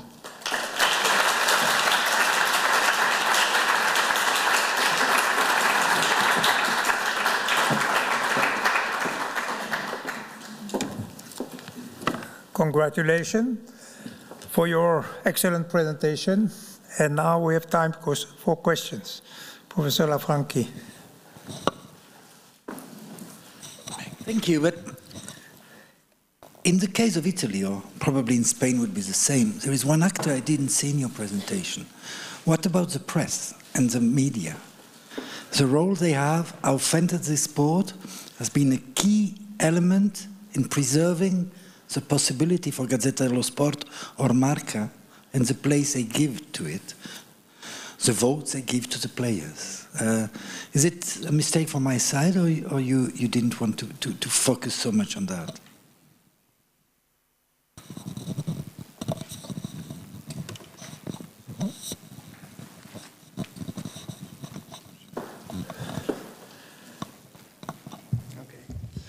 So thank you, Pierre. Uh, no, you didn't make any mistakes. So we know about the, the importance, for example, of the Gazzetta in Italy for Fantacalcio.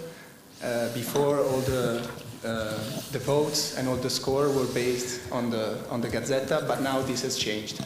So the main platform that we uh, we showed, Fantacalcio is called the main platform, uh, takes the, the vote that Gazzetta do, gives to, to the players and and then those are the points that the players get. But also now they, they mark their own, they, they give their own votes.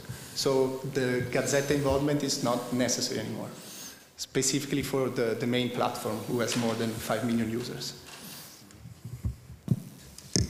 Um, one of the things that we found as well was um, when you look at the player, when you look at the fantasy players' involvement, they want a point system that isn't based off of subjective determination. And when you deal with journalists from a newspaper that might decide one way or the other, that plays a role. So in Fantacalcio, they have two options where you, before you start your season, you can select whether you get points from the original traditional um, Fanta, um, Gazzetta, where you get those points, but those points come in a day later, or you get instant results based on a data, um, a data system that, that determines um, performance and provides data instantly, which what which is what most of the, uh, the top fantasy platforms are currently using. Thank you. Uh, Professor Elefanti. To, to be more clear about the Italian experience and the Italian case that you analyzed, um, which is the business model? Uh, who, uh, which is the relation between income, cost, uh, margin? Uh, who, who have the, inter the interest to improve the Fantacalcio. There is a, a, a, private company, there is the league that is uh, the, the, real sponsor, that is the commitment, that have the commitment to develop. There are, are the, the, the, single and the specific uh, club that uh, improve the, the link, the, the, relation with the, fans, which is the, the, the, model that we can um, uh, identify concerning the Italian Serie A case.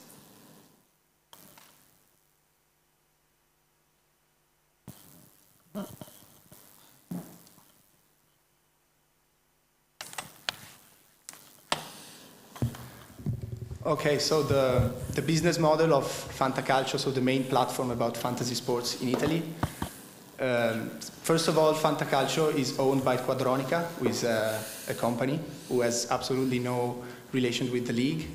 And on their business model, they, uh, they earn through sponsors. So their platform and their website are sponsored by different sponsors and by advertisements on their website and on their platform.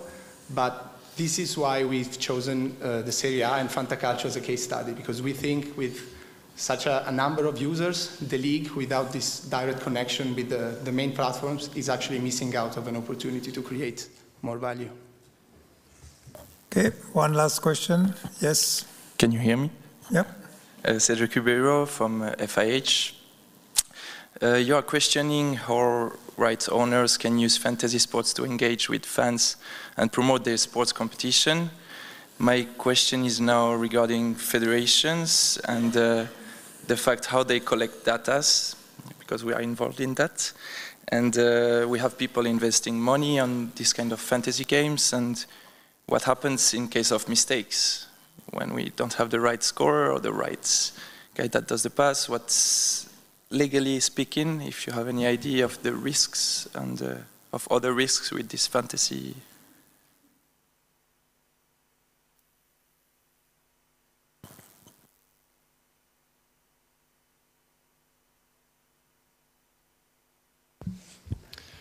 Thank you for your question. So I think it goes without saying that to, to um, run these platforms, it's essential to have accurate and, um, and uh, reliable data. So um, what, what a lot of platforms do is they, they outsource the collection of the data to external providers who um, can make sure that they uh, have the level um, of reliability which is needed. Um, yeah, and I think especially when we talk about competitions where uh, money is involved, um, this is, is, essential because um, otherwise you can be sure that uh, regulators will jump on you pretty soon. Okay, uh, unless there is a burning question, we'll stop here. Okay, it's not the case. So thank you very much again and uh, congratulations.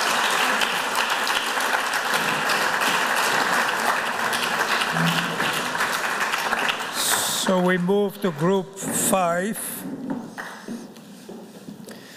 Hostless Olympics. How does the IOC realign its long-term strategy in light of the decreasing number of potential Olympic host cities. I am the supervisor of this group, and the group is composed of Salome Iliambo from Namibia, Paul Pampena from Canada, Silvan Henny from Switzerland, and Woho Kang from South Korea. You have the floor.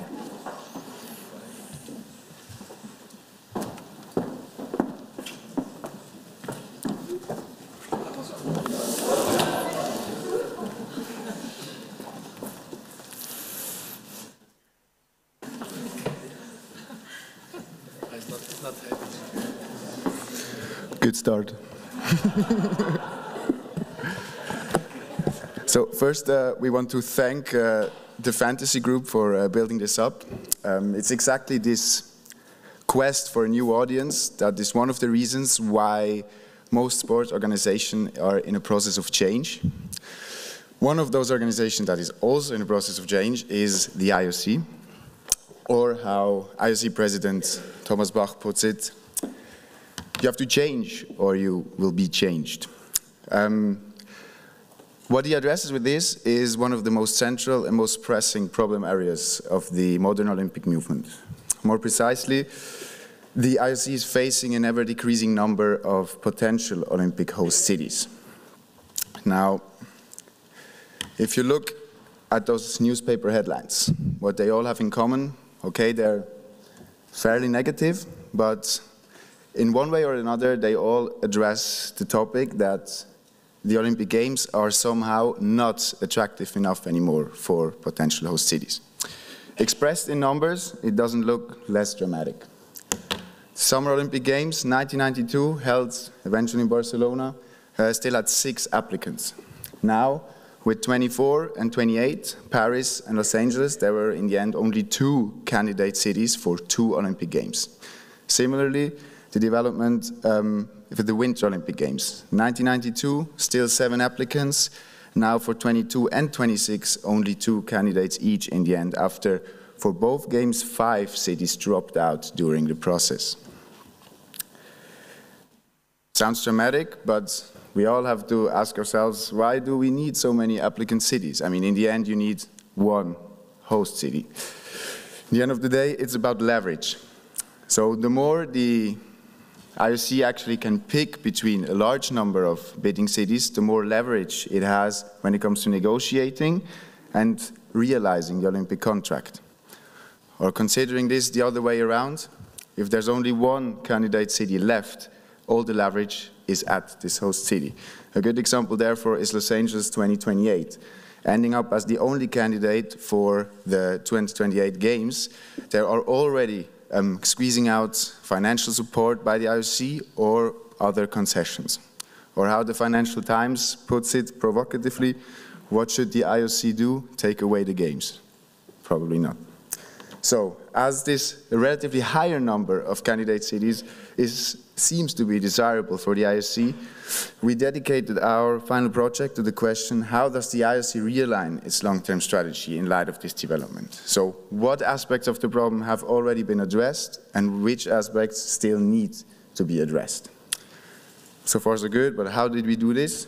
First, we did a comprehensive benefit cost analysis or so-called impact analysis of Olympic Games, both like estimation studies and aftermath studies of Olympic Games. Then we looked at cases of recently withdrawn bids and we looked at cases of successful bids in recent years.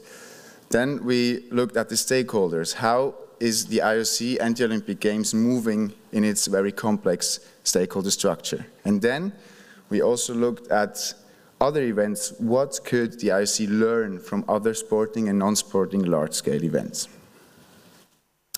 Now, before we dive into it, one last thing.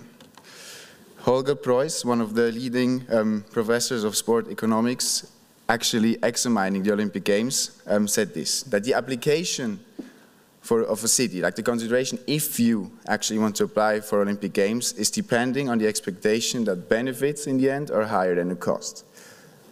Sounds really simple, but Paul will show you now why the relation between these benefits and those costs is not simple at all. Paul.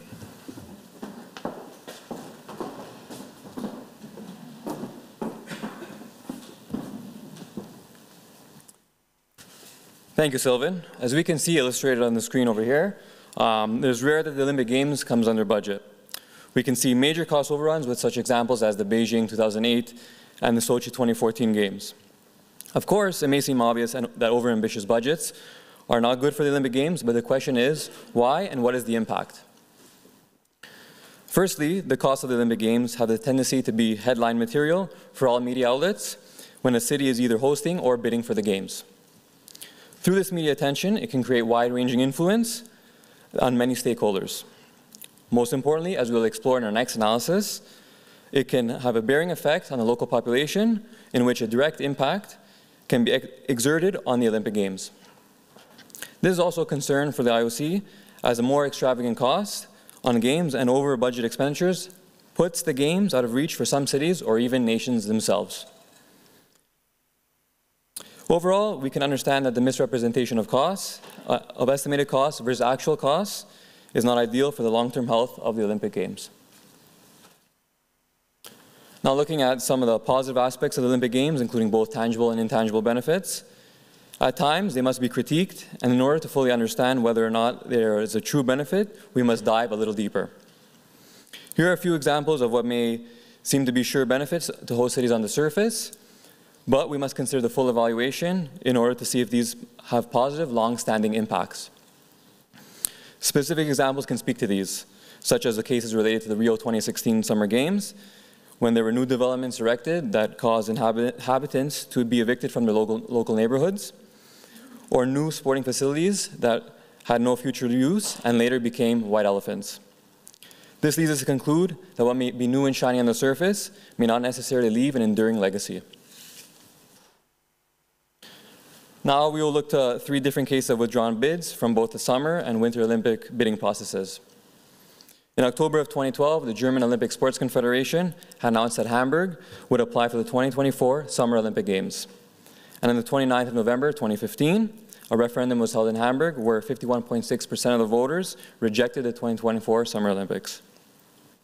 Now, the Sion 2026 bid from the Swiss Olympic Association was made official in early 2017 then received public backing from the Swiss government in October 2017.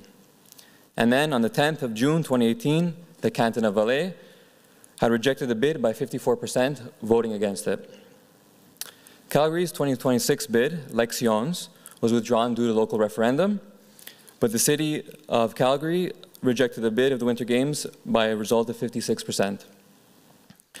After analyzing all three cases, uh, we can see some similarities to the withdrawals of the bids, of Hamburg 2024, Sion 2026, and Calgary 2026. One aspect in common of the three bids was not only the public opposition against the bid, but the public's concern for the costs of the games and the projected budgets made by the cities themselves. Moving forward to the next few editions of the games, um, while they take place and fully implementing Agenda 2020 and the new norm, it may be seen that positive, there might be a positive impact to society and they may become more accepting of their city bidding for the games if the cost efficiencies can be observed as a result. Now we look at through some of the most recent cases of awarded bids, of awarded bids to host um, the Winter and Summer Olympic Games for the 2022, 2024, and 2028 editions. On the 31st of July, Beijing was awarded the right to host the 2022 Winter Olympic Games. The Beijing 2022 bid is making use of existing facilities in the region of Zhangjiakou, which will hold most of the skiing and snowboarding events. And on the 13th of November 20, 2017, the IOC then decided to award the bids of this, both cities of Paris and LA with the 2024 and 2028 Summer Games. Their positive benefits can be, can be linked to both bids, which help them win the right to host. Paris has signed up a social charter program for small size and mid-sized businesses to create jobs, and they're convinced they'll be creating over 150,000 jobs through the entire process of the Games. Concerning the aspect, aspect of long-term legacies, it, it, was understood that the LA, has a bid, LA bid has an agreement with the IOC to further develop youth sports by investing 460 million US dollars over 10 years. Through legacies such as these, the IOC can build a strong rapport amongst potential bidding cities with the help and experience of previous Olympic hosts who have realized such benefits. This will ensure the Olympic Games will not necessarily be remembered for a burden of debt to a city, but rather long-standing memories, which through the positive social impacts that were a result of the Olympic Games. Now we'll go through a stakeholder analysis, which Salome will speak to you about.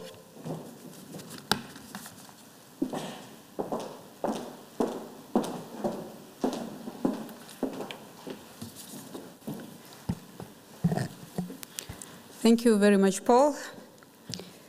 Um, in total, these are the eight stakeholders that we've examined uh, for our stakeholders analysis. Now, managing Olympic Games depend on many different stakeholders' involvement. All the stakeholders have got different interests as well as uh, needs that continuously evolve. They only evolve depending on the time period, be it the bid phase, the planning, the implementation, or the execution of these games. So their desires may vary from time to time. As to be considered is the requirements of these stakeholders post-Olympic Games. What happened when the games are done? We have also found out that this proves the stakeholders' involvement to be very, very complex and based on different interests as well as power that they may have. They have got different power. Now, many of these stakeholders, they derive pride or either prestige just being associated with um, the World Showcase of Olympic Games. Is that enough? They do not really look at the long-term effects that the Olympic Games could give. Stakeholders are more evocative and exploratory in nature. What does that mean? Those that have power, legitimacy, or either the agency to seek for variable um, maximize for their benefits, they normally do not prioritize over the interest of others. As a result, it pushes the cost high as they seek to reap for these benefits. Paul has just alluded to the example of the London 2012 Games that cost 18 billion US dollars.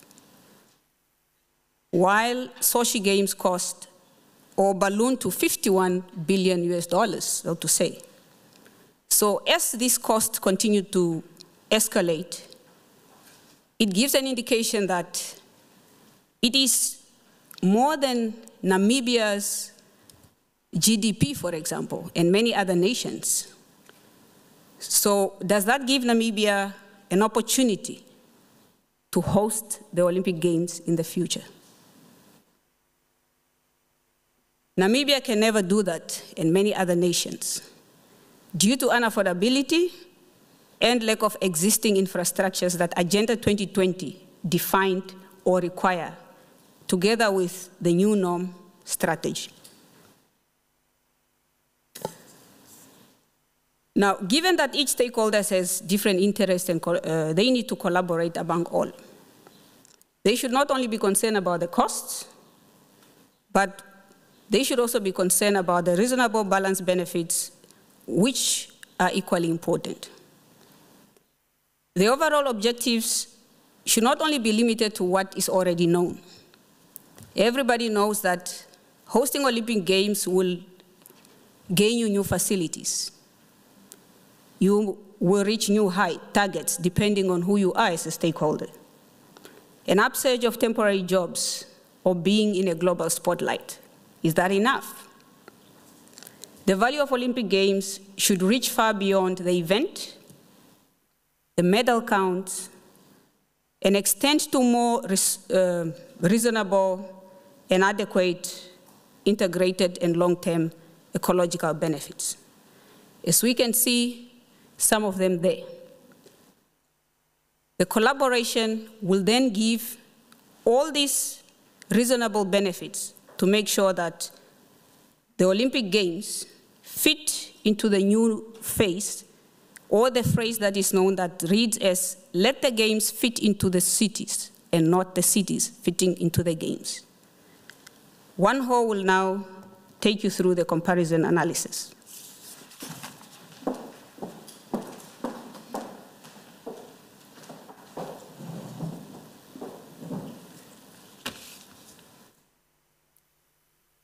Thank you, Salome. Now we look into the other events to compare their features to those of Olympic Games and to find out what lessons the IOC can learn from them. FIFA World Cup, which is one of the, one of the largest sporting events, bringing the planet together along with the Olympic Games, which seems similar, but at the same time, a bit different. FIFA World Cup has been struggling from the issues they face. Criticism about financial burdens to the hosts, including abandoned, abandoned facilities after the event, which are called white elephants, as well as the tasks to make the event more entertaining, attractive, and efficient. As a part of solutions, FIFA recently introduced new strategies. One, expanding the number of the teams participating in the Olymp uh, sorry, participating in the FIFA tournament from 32 to 48 with an expectation of profit rise which was able to be realized by using existing venues in host countries. And two, more encouraging co-hosting system. As these initiatives were firstly applied to 2026 FIFA World Cup, we cannot see the realized benefits yet, but we can expect that FIFA's efforts to improve the event would work. Formula One, recently acquired by a private company, has been, has been trying to transform itself to, to a uh, media-focused brand for more fan engagement by producing a mass of video content, including Netflix series. The main, character, main characteristic of Formula One is that the contract to host a Grand Prix is mostly seven to 10 years long, demonstrating that the host cities can anticipate a guaranteed revenue stream for the next seven to 10 years based on the long-term contract structure. That's why more cities are still waiting for their turn to host the city, host the event. In addition, the geographic track location for the Formula One is to expand it to 21 different host cities with an aim of moving forward to expand its presence. So from these two me mega sporting events, we can see that traditional hosting system, one city or country hosting one game, is slightly getting out of date, and joint hosting and multi-use infrastructure are becoming a new trend. There's another event that can be compared, which is organized by the IOC. The Youth Olympic Games has been a fresh new idea since its inception of the Games in 2010. The IOC can do vast amount of learnings that would help its grand spectacles, the Summer and Winter Olympic Games. The IOC also can learn lessons from the host cities of the Youth Olympic Games, such as how to put on a large multi-sport event with more sustainable efforts and achieve bigger cost efficiencies. A great example of this is Urban Sport Park, built for 2018 Youth Olympic Games in Buenos Aires. And the concept of the park is now being replicated to Tokyo Olympic 2020 Summer Olympics. After visiting Buenos Aires, Tokyo National Olympic Committee said that they've learned a lot about the, the venue's openness, youth feeling, and active atmosphere, and they want to make use of, make use of such concept in Tokyo for the success of the Olympic Games next year. This can act as a legacy that will be remembered by all involved in leaving positive memories to potentially be utilized for when the Olympic Games may come around. So far, so far, we've talked about how our research and analysis were conducted. Now, Silva will summarize the key findings on our research that will lead to our conclusion.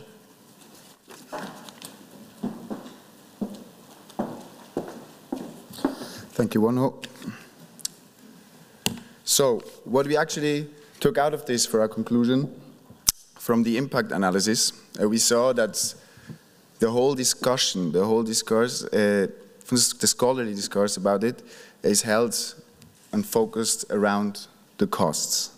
Um, talking about the benefits, it doesn't really help the IOC that the discussion around the benefits is very controversial. So, how can you basically fix economic costs and then compare them to benefits that you actually haven't quite defined and are hard to find definitions for it. Then the case studies. What did we learn from the case studies? Something really similar. Public's opinion um, is basically focusing only on the costs. So there's still a big problem in how to tell people what the actual benefits are that go beyond financial costs. Um, Professor Polley was uh, mentioning something before in another presentation. Um, how does the knowledge transfer um, function here? And there is no central body basically collecting the benefits from all previous Olympic hosts. So every four years or every two years with the Winter Games, something new has to be brought up. So why is this not collected? Then the stakeholder analysis showed us two things. First, um, it's the, the, stakeholders as such getting more complex and the needs of the stakeholders as such are getting more complex too. So um, in the grid of stakeholders, it's the demands of stakeholders get more complex while basically the influence and power um, get more complex as well. Um, then the comparison, what can we learn, as one just said, from other events is there's a new trend of joint hosting and the multi-usage of all the infrastructure built. And secondly, the Youth Olympic Games are this platform basically to learn uh, on how the movement could look like in the future. This means new sports, new audiences, and new focal points of an event like Olympic Games. Now, where do we go from here? At the point in time, there are some limitations to our findings. Firstly, the Winter Youth Olympic Games 2020, as well as Tokyo 2020, are the first game held um, by, with the application of Agenda 2020 and the new norm. This means practical implications of these new norms um, will be subject to be seen. Um, secondly, LA 2028 will show us three things. First, where does the leverage go being the only um, host city and the only candidate in the process? Secondly, um, what is the impact of a preparation time that is longer than the seven years that are usual for um, preparing Olympic Games? And thirdly, LA is said to be probably the city with the highest potential of being a permanent host of Summer Olympic Games. Also, this will be um, interesting to see in the near future. Until then, um, what we can say, um, I would like to put uh, in a small metaphor. Um, now imagine I am the IOC. My right hand is the cost structure of Olympic Games. My left hand is the benefit structure. And in front of me is this big box, this big heavy box called the Olympic Games. And this box needs to move from A to B somehow. Now, if I only take it now with my right hand, with the cost hand, somehow it might fall down, I might hurt my back. It is time now to put with both hands and a lot of composure, which means it get, can be changed more effectively and it can be changed more efficiently at the same time. Only like this, um, the IC can ensure that the concept of Olympic Games and the candidature process is as flexible as possible. Only in this way the IOC will be able to adapt to all the changes that are coming. Because we know now the problems that they face now will probably not be the same 10 years from now, so they need to be flexible. Or, how Thomas Bach puts it, they need to change, otherwise they will be changed in distress probably. Thank you very much for your attention.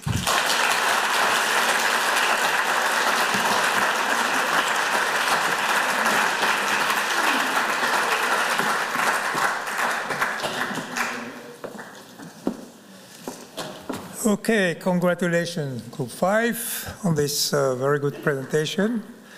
And now time for questions. I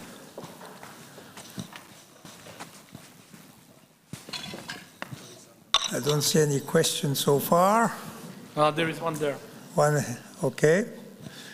Hi, thank you for the presentation. Um, being Swiss, I was a bit affected of the 2026 non-existing or failed bid.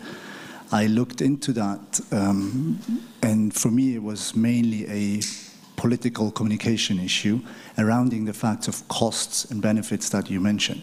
Um, first question, when you talk about costs, did you look into the differentiation of operation budgets and infrastructure budgets? Because that's for me one of the main, let's say, wrong interpretations of, of, of public media. And the second question then is, um, how can we assure that future bids, now talking in front of Switzerland, um, will make sure that the political argumentation will be ready to set on benefits, which is hopefully a financial touristic or infrastructure result.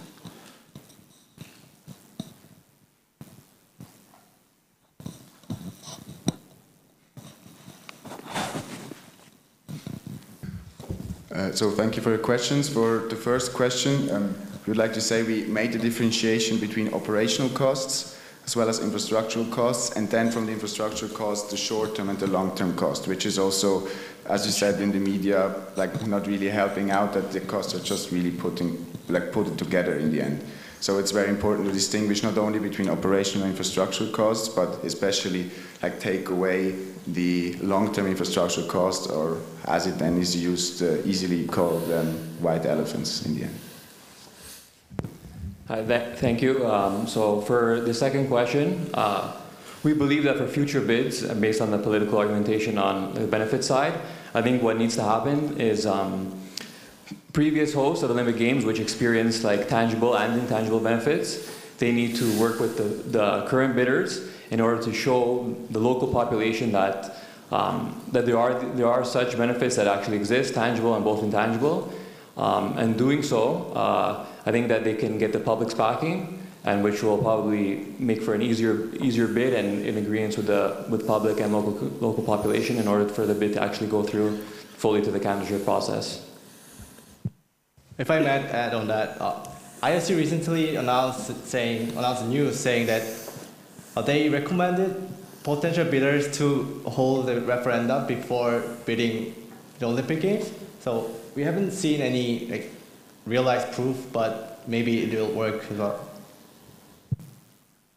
Okay, Professor Poli. Uh, just before um, another question, just to allude also on the cost issue, is that uh, we have also presented here that sometimes you find that when uh, the cities bid, they would give a budget or propose a budget and say, these are our estimations. At the end of the day, as it was shown on the graph, all these costs escalate.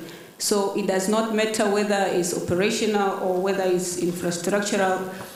All this need to be coordinated so that cities can learn from one another, so that we don't repeat the same mistake over and over again, and try to limit the margin between uh, the, the the first cost that you give as an estimate and the actual cost. Professor Poli. Eugenio was first. Yeah, I'm not a professor yet. uh, sorry, no, I have a question because, of course, our project is also linked to yours, and I mean, its focus is on sustainability. But um, with the new Agenda 2020 and through your research, have you seen actually a renewed interest by cities? So, for example, I don't know if you read in the news, in 2032, India already expressed the interest to host the Olympic Games, and maybe there will be a re- well, yeah, and maybe there will be a renewed interest thanks to this process and the proactive approach by the Olympic Games, uh, sorry, by the IOC, to host the events. So, through your research, have you seen this change already in mentality by bidding cities, or is it too early yet to assess? Thank you. Thanks, Professor Eugenio. um, actually, talking to the IOC people, uh, like most of our interview partners, expert interview partners of the IOC, are referring to the development and sustainability, new demands, basically as basic expectations. It's just underlying expectation that they expect from every host. Any candidature that is not fulfilling their standards and minimum standards are just not regarded as candidates. Which is, which is really interesting now in getting more candidature cities um, on the plan is actually to make this a selling argument. And this is where, in our opinion of the group, um, the IOC is a bit behind on schedule. Like it can be now, for example, for India, be a selling argument of Olympic Games. Firstly, to show and to educate their population about like how you can do a mega event in a sustainable way, which we were also talking about with Daniel Kay. Professor Poli. Thank you, thanks. Um, bit of history, obviously. 1976, 80, 84, the Olympics were hit, the Summer Olympics were hit by some massive boycotts. And one of the conversations that went on in some circles at that time was the Olympics should move to one permanent home. The parallel they used was like with the Vatican City, that you could Vaticanize Athens or an area in Switzerland, and that would be the permanent home. In light of the decline in numbers of host cities and the sustainability issues discussed by a previous group, is that conversation happening again? The idea that actually let's just, just put it in one permanent place and leave it there. Is that back on the table? Thank you, Professor Polley, for your question. Actually, so our paper really looks into that, and uh, we kind of, based on our interviews, we kind of asked around to see is that conversation still happening and is it an actual possibility? So I think what we've, we've discovered is, I, like based on what the Olympic movement is, moving from each city to city in order and having each city teach the world their cultures, um, it doesn't seem that it's uh, realistic and happening anytime soon. But potentially, if Agenda 2020 or New Norm doesn't help anything in terms of increasing cities for bidding or showing the actual cost saved, it could be potentially in the future, maybe 50 years in advance. We, we, can't, we can't really say when, but so far, nothing actual realistic in terms of the Olympic Vatican happening. Maybe quickly to add on that, um, according to the IOC, this could be sooner an option for Winter Olympic Games as climate change reduces basically the number of possible cities anyway. So. Okay, last question, Professor yes, Ruta. Very quickly. Um, I want to link uh, a few um, pieces of your, uh, of your presentation. The idea was to change uh, before to be changed. Um, and the fact that the bidding process per se is expensive. You know, some, some cities, they put this into consideration. And um, at the end of the day, there is a technical evaluation from the IOC, but then the last, last decision is about the voting system. Do you think that, uh, considering all the rationale that nowadays we have to face in terms of, uh, you know, the evolution of uh, generation, the sustainability investments. Uh, is the voting system, in your opinion, still the right mechanism to assign these kind of uh, games?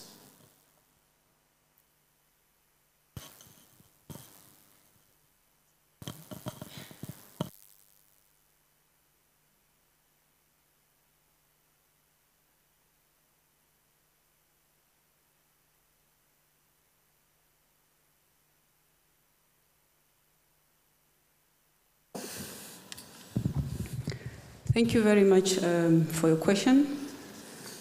Um, as a group, we feel that the voting system does not really work. Uh, and given many other reasons that, um, as you mentioned, that maybe new generation might uh, have a change of mind. Uh, we also currently live in different states uh, or different type of states. Some are democracy and others are uh, dictatorship. So even though it has worked now for certain uh, democratic states, it does not work in our views. Okay, thank you. Time is over.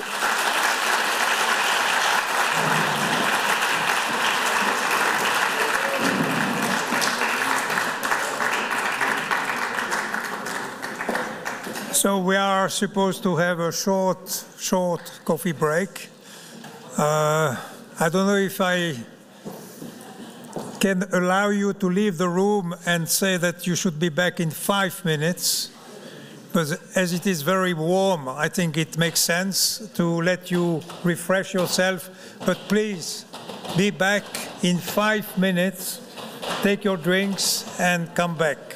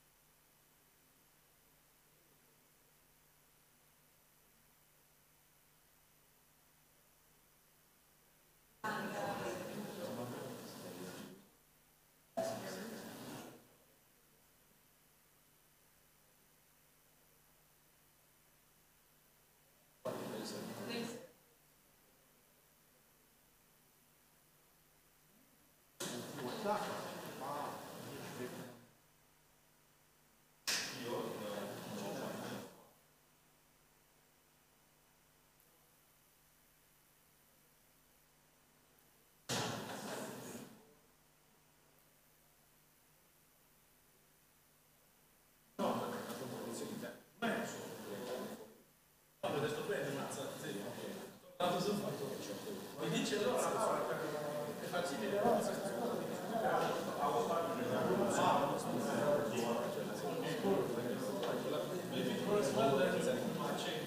you.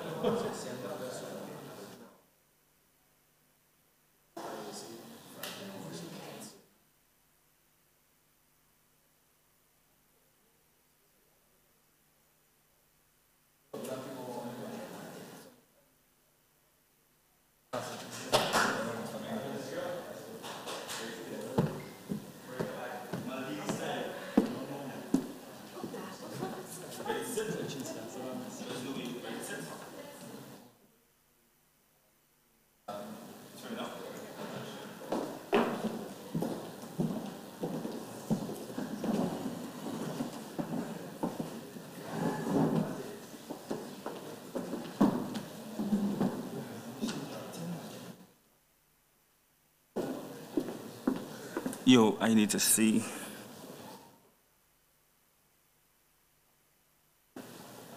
How do you turn this on?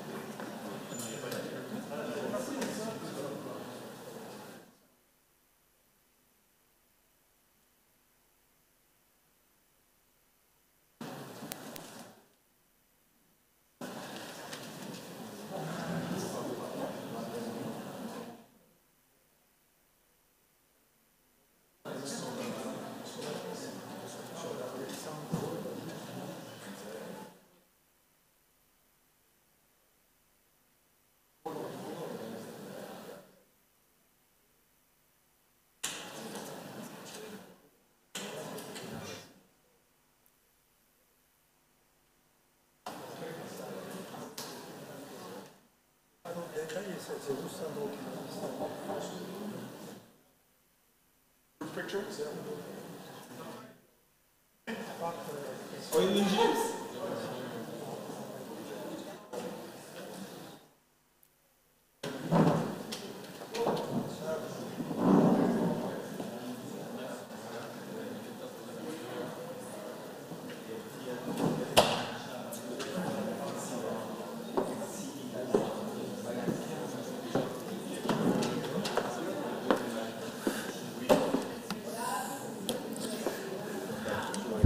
Again, like before, we are going to start and ask you to take your seat. Maybe it will push people in when they hear that there is something uh, going on.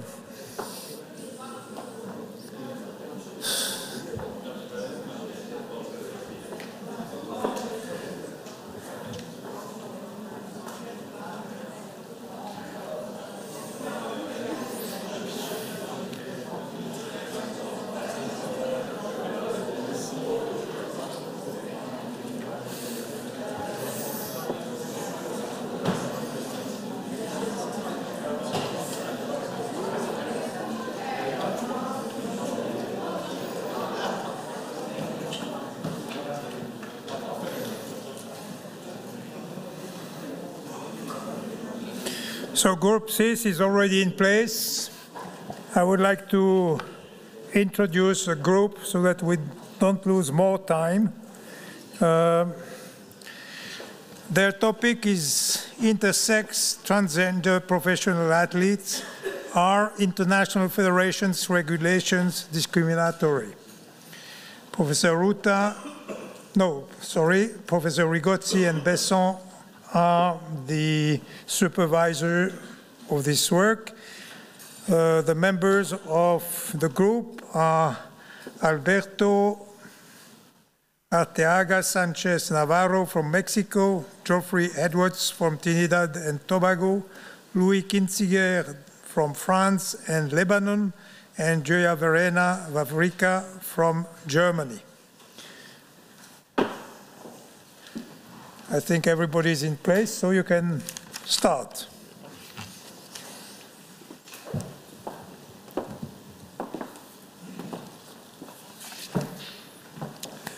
We are aware you might be a bit tired by now, but don't worry, hang on in there. We've made sure that this will be interesting. So thank you for coming back on time. Good evening. The members of Group 6 would like to introduce you to one of the hottest topics in the sporting community intersex and transgender professional athletes. Are international federations' regulations discriminatory? In the context of sport, inclusion and fairness in competition are crucial, which is why we'll be trying to answer this question. To do so, I'll first define the relevant basic concepts before giving Joya, at the very end, the chance to be sharing our stakeholders' analysis. Then, Alberto will present the methodology, the analysis, and the results of our research on internal federations regulations. The case studies of a South African middle distance Olympian Caster Semenya and Indian sprinter Dutee Chand will then be used by Geoffrey to discuss our legal framework, which is important to bridging the analysis and the take on. Finally, our project presents you with recommendations, of course. So for the basic principles of sport, they're as follows. The first one being inclusion. Everyone has access to participation in competition. The second is equality. Everyone participating can technically win. But is that really enough? That's when equity comes in. Equity provides equal chances in regulations for all the various participants. Finally, fairness ensures that sport and competition happens without any favoritism or discrimination. Ladies and gentlemen, I invite you to take a good look at those four words as they are essential notions of our presentation. Try to keep them in mind all along as I'll be defining them right now. The first two concepts are opposed, gender and sex. Gender is based on the principle of identity and self-expression, how one person identifies.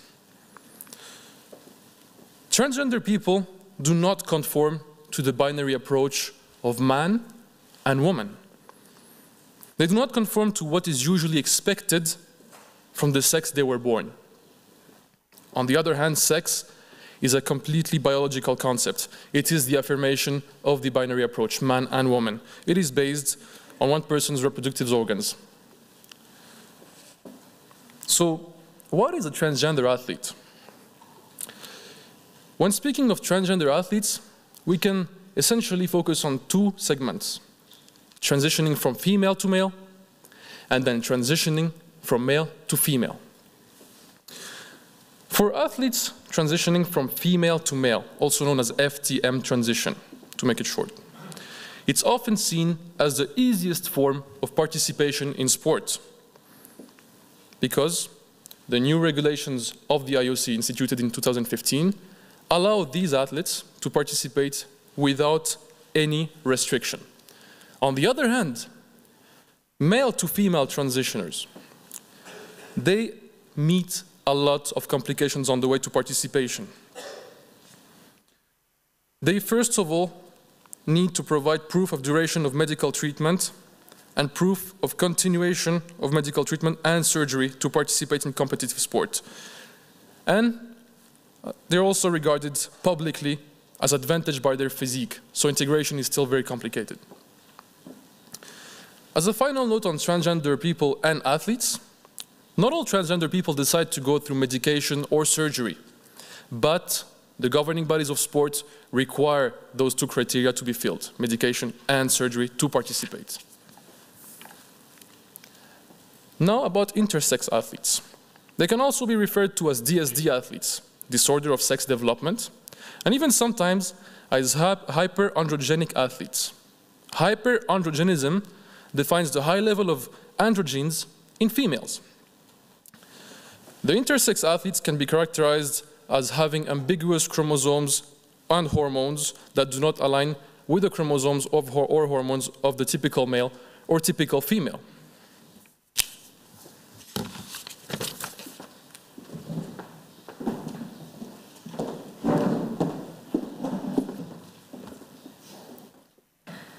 Now that we went over the definitions, we will take a look at the stakeholders that play a role for intersex and transgender athletes. Our stakeholders are classified in primary and secondary stakeholders. The primary stakeholders are based on the pyramid of sport. International federations are monopolistic in nature. They issue regulations including those relating to competition eligibility to membership associations and athletes. These regulations can be legally changed by the mentioned me membership associations and athletes. This challenge is usually to be resolved by the Court of Arbitration of Sport, which will be discussed later. Of the secondary stakeholders, which are based on the universality of sport, our project focus on media and sponsors. Media plays a dual role for intersex and transgender professional athletes. On the one hand, it can contribute to propagate hostility, stigma, and discrimination against them. Whereas on the other hand, it can also play the opposite, promoting inclusion and clarify and explain the mentioned terms. While the issue of intersex and transgender athletes has been quite visible in participating in sporting competitions, the controversies have not been significant in, in relation to marketing and sponsorship. However, recent developments among the leading sport merchandise companies indicate a positive movement towards support of intersex and transgender athletes. As an example, in 2016, Chris Mosier became the first transgender athlete to secure a Nike endorsement deal. And in 2019, Caster Semenya became the first intersex athlete to be featured in a Nike commercial. This shows delayed indication of support for transgender, transgender and intersex professional athletes in sport. The distance in time concerning sponsorship is also evident in the history of regulations. As we mentioned before in the introduction, the following timeline is important to the analysis we carried out. This topic will be covered in detail later on. The first phase began in 1950 and has for aim to avoid cheating attempts following some suspicious cases during the Olympic Games in the 1930s. This phase involved physical verification of genitalia. The athletes were required by a medical committee to expose their bodies and prove their sex in order to participate. This practice left place to chromosome testing in 1968, also known as the Barr test it ceased to be used for failing to determine the maleness in an athlete. Notable is the major gap, noting that gender and sex verification started in 1950. The case-by-case -case approach was favored by the IOC in 2000 to determine if any investigated athlete was eligible to compete in a certain category. And in 2003, the Stockholm Consensus opened the door for transgender athletes for the IOC. In 2011, the IAAF issued sets of regulations that attempt to include intersex and transgender athletes. They were the first set of regulations issued by an international federation. In 2015, a new set of guidelines for transgender athletes were issued by the IOC. These were an updated version to those issued in 2003, with a couple of major differences. The previous requirement for transgender surgery was removed, whilst the length of time during which an athlete had to demonstrate testosterone levels within allowable limits, was reduced from two to one year. These condi conditions, still in place today, are more flexible and comprehensive. In 2019, a new set of regulations were issued by the IAAF, which attempted to regulate intersex athletes. More details will be provided by Geoffrey, who will delve in the case of Dutee Chand and Caster Semenya later. Notable is that the IOC and the IAAF can be considered as pioneers by attempting to include intersex and transgender professional athletes in their competitions. We will now have a look at the analysis of the regulations.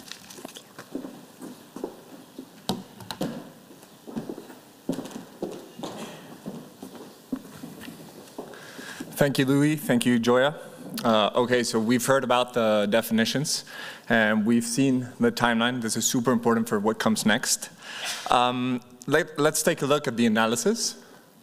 So uh, our research population, in order to determine if international federations regulations are discriminatory, we first had to identify which federations uh, actually have regulations in place. We decided that our research population would be the federations belonging to the Association of Summer Olympic International Federations, ASOIF, and the Association of International Olympic Winter Sports Federations uh, both recognized by the IOC. As you can see uh, the, on the slide, it is composed of 40 federations, 33 belonging to ASOIF and 7 belonging to the International Winter uh, Federations. How did we identify the regulations? Uh, we noticed that a wide array of terms describes intersex and transgender athletes. Uh, we selected these specific keywords, uh, which you can read on the slide. On your right-hand side, hyperandrogenism, gender verification, gender, sex reassignment, transgender, intersex, and DSD. It's a lot to take. Uh, so what we did is we ran a dual search uh, with, uh, with them. The first approach was to locate and download each of the Federation's documents, such as the statutes, the rules and regulations, and the code of ethics. The second approach was to visit each of the Federation's websites and employ four search operators on them. Which uh, operators am I talking about? So it's quotes, quotes, which forces an exact match, match term, uh, site, which limits the results to those from the specific website that you're looking into, uh, the minus sign, which excludes a term, and the file type, which restricts uh, results to those of a certain file type. Usually regulations uh, come either in PDF, an image, or a Word document. So by uh, employing these two methods, uh, we were able to pinpoint uh, the regulations accurately. Now, once we identified the regulations, we went through them, we analyzed them, and identified a pattern amongst them. In order to simplify things, we decided to assign them to a group. This table illustrates it. So you can see the table, group one, group two, group three, and group four. Those in group one have regulations in place. In other words, they have a specific document addressing this, the, the issue. In second place, they follow or will uh, follow IOC's guidelines. Joya uh, spoke about this, the 2015 IOC guidelines. Uh, the third criteria is keywords. Of course, it's evident that they're going to contain it. And uh, as you can see, group two only uh, has IOC's guidelines and keywords. Group three, only the keywords, and group four, none. Um, so, on to our results. This is the fun part. Uh, let's take a look at them. 13% of federations have regulations in place. Uh, group two, which follows or are following um, um, or will follow IOC's guidelines, 27%. Um, uh, group three, only 15% of federations showed use of keywords. And group four, which is the majority, 45% of federations don't mention the topic at all. Okay, so um, which federations are the ones who have regulations in place? Uh, congratulations to our colleague from the International Hockey Federation. Um, here they are, World Skate, uh, International Tennis Federation, IAAF, World Rugby, and the International Hockey Federation. Now, um, it is important to consider that not every federation presents the exact same regulation, even though they're based in the IOC's guidelines. There are the ones which are more comprehensive than others. For example, World Rugby, along with the IAAF, are the most comprehensive since they provide context, justification, make a clear distinction between intersex and transgender athletes, as Louis explained, there's a, a big difference, uh, among other elements. Whereas one of the least comprehensive one, sorry, is the International Hockey Federation. It does not provide context, justification, and actually pairs intersex and transgender athletes altogether. So it's nice to know which federations have regulations, but what about our findings? According to our analysis, um, there, there, are three main findings. The first one is a conflation of intersex and transgender. Federations tend to pair intersex and trans, transgender, just like the International Hockey Federation. As Louis explained, this is incorrect. They are not the same concept. Second, there is no standardization of terms. Federations use a wider array of terms in an interchangeable manner. This causes a misunderstanding amongst the stakeholders and dilutes the importance of intersex and transgender as concepts. The third main finding is a lack of knowledge, and this is tightly linked with the first uh, main finding. Uh, due to a lack of knowledge, uh, the regulations in place are imprecise and fail to address the inclusion of intersex and transgender athletes appropriately. Now Geoffrey will take us uh, through the legal analysis.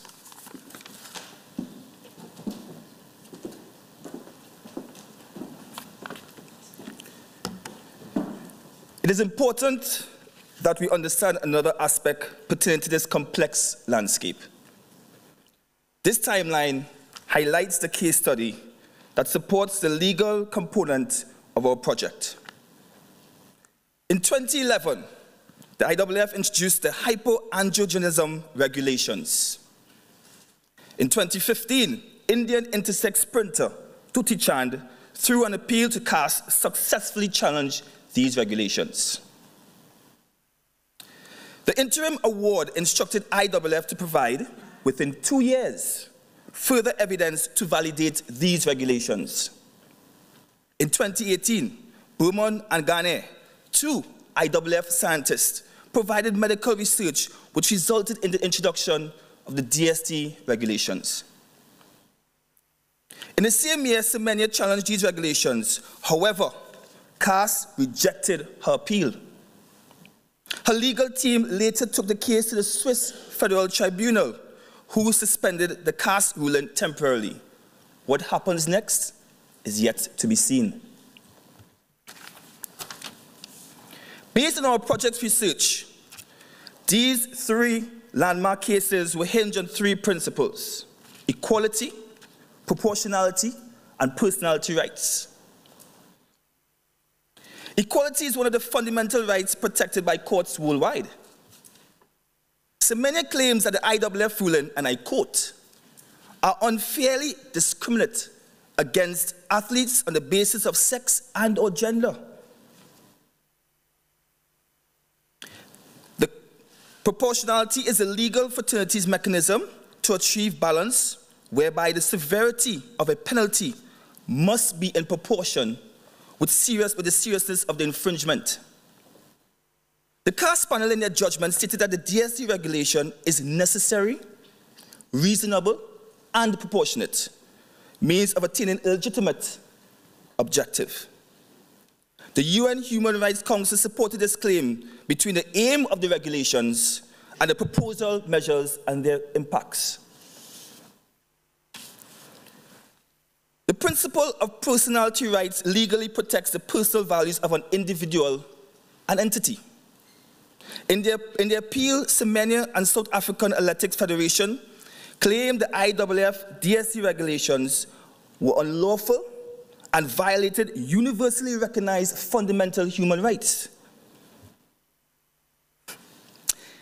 Our International Federation regulation discriminatory to intersex and transgender professional athletes. I smile at Professor Polley. Because in December 2018, this question was conceded by our group. In 2019, May, the Court of Arbitration of Sport panel answered, said with a unanimous yes for intersex professional athletes. So unlike our former colleagues, it's not a maybe. Based on our research, there has been no reported legal cases of discrimination involving transgender professional athletes before the CAS. However, as highlighted by my colleague Alberto, numerous international sporting federations have no regulations or limited provisions to facilitate the inclusion of transgender and or intersex athletes. This creates a legal gap for potential future proliferation of challenges. The project notes these regulations as static due to the non-evolution with alignment of growing societal norms.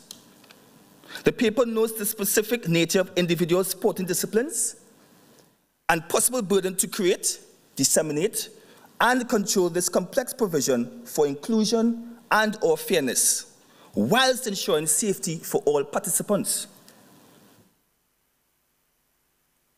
Our project's research respects the views and opinions of our interviewees, who are key stakeholders on both sides of the divide. Will the playing field be level, or will the goalposts continue to shift? These questions are posed to, to, in our findings has given us the opportunity to provide the following recommendations. A steering committee comprising of academia, recognized international sporting federations, medical, legal, political, and social stakeholders to provide a standardized framework through regulations for inclusion of all athletes. An educational program provided by the IOC to be rolled out to all recognized international federations.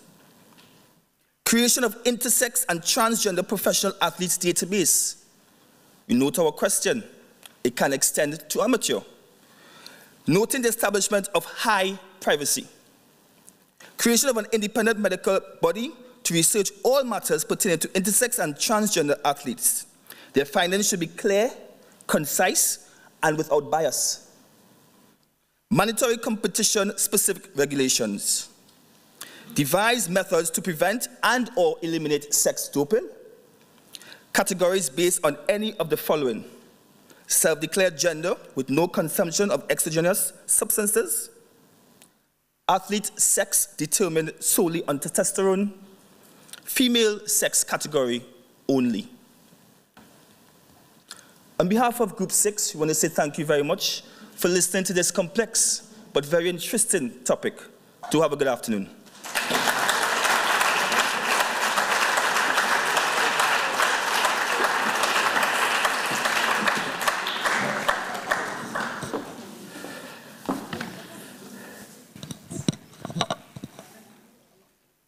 Thank you very much, uh, Group uh, 6. Uh, even for non-scientists, it's a very interesting topic, and as you said, it's currently one of the main concerns in the world of sport. So we have short time for a few questions.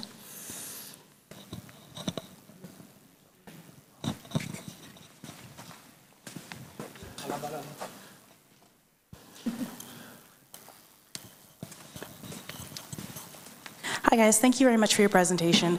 Um, so I was just, just curious a little bit about the question of testosterone. Um, so would you guys be able to summarize some of the information that came out of that study that originally kind of got the hyper and hyper, hyperandrogenism androgenism um, sort of incorporated into the regulations from because what I from what I understand, um, a lot of individuals who are a lot of women who who have high levels of testosterone um, they often are not terribly sensitive to testosterone. So how how have the regulations sort of incorporated what are perceived to be these advantages, and are they actually research-based advantages, or are they, are they assumptions?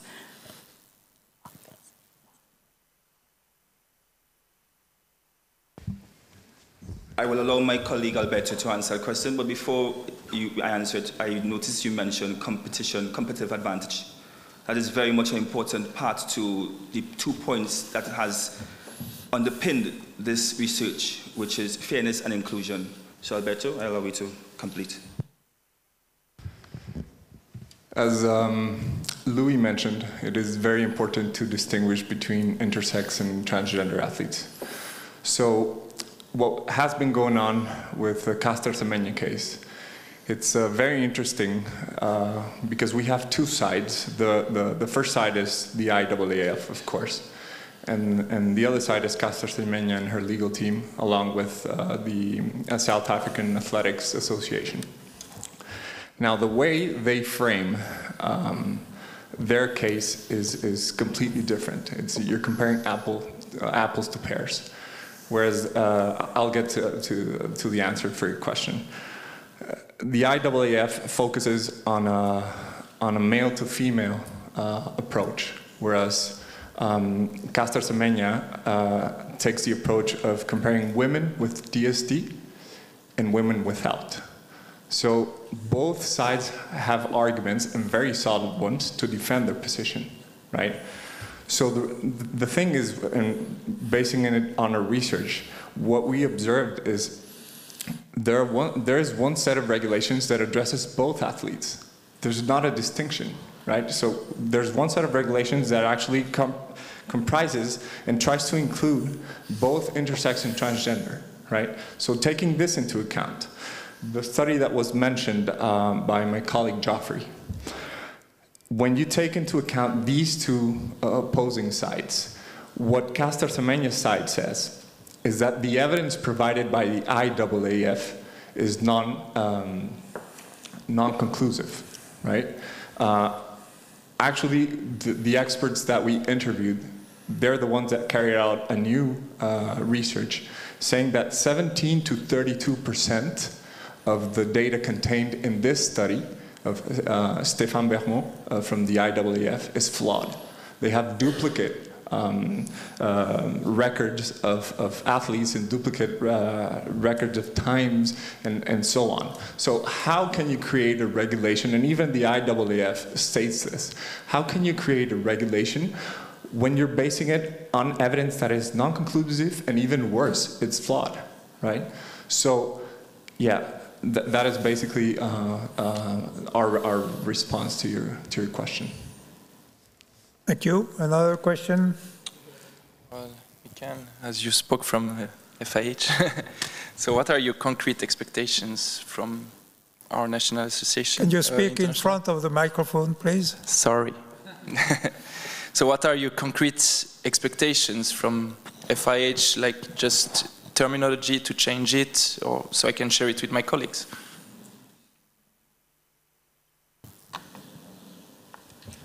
Because it's true that I can see that, that intersex people are under the transgender category. Exactly. So when we uh, carried out our research, the first federation that we actually looked into was the International Hockey Federation. And um, the concepts of transgender and intersex are included in a broader range, which is gender equality policy. So it's not, they don't even have a specific document, it's under gender equality. Now, I mean, even so, it's important to have, or to address intersex and transgender. Now, to answer your question, I would say, uh, as Joffrey suggested, um, take a look at World Rugby and the IAAF these are the most comprehensive regulations. Of course, there has to be some sort of exchange between the international federations, and of course, consult as well the IOC because these uh, organ well, this organization as well as the international federations uh, these uh, two, the IAAF and, and, World Rugby, are looking into, into the subject. And one of the things I have to say from both organizations, or international federations in this case, is that, that they make a clear distinction between uh, intersex and transgender, which is fundamental in order to be able to produce regulations that address the inclusion of both uh, sides. Um, okay, can, can you be concise in your answers because if all, four, all four uh, give uh, part of the answer, it will never be able to, to, uh, take the time. So uh, we have one last question afterwards, but please finish. Um, to add to my colleague, it's important that we suggest that you look at our recommendations and you'll look at your do an internal stakeholder analysis and look at how it is you want to address this particular issue because every sport is different. It's also important to understand that when it is we did our research, the, the, key stakeholders on, um, in that of legal and medical, they were always parallel. they never came together to be able to find the better good of this particular topic. And in order for us to move this topic forward, is, is based on our first recommendation, a steering committee comprising the best of the best to speak together on this topic. Okay, short question and please a short answer. Okay. It, it was not mentioned about the volleyball federation, but as a Brazilian, we have a case in Brazil of a athlete. What I was, what I'm aware about the press is that uh, she transsex, as the press say, was the best way. Yeah, it's it's not appropriate to use. Yeah, but the press Yeah, the yeah. press used this because you mentioned about the media. No, I don't think it's the right way, but it's how the the press says she's allowed to play in the local competition. So she was allowed and a women's team, but she's not yet ready perhaps to be part of the Brazilian national team. From what I understand, this is the meetings that are having in between perhaps the Volleyball Federation and the IOC. Is there any chance to, to happen that athlete is allowed to play locally, but not yet for the, for the team? I don't know if you get these case studies in your studies considering these five federations which are, that you mentioned that are more, let's say, advanced in this topic.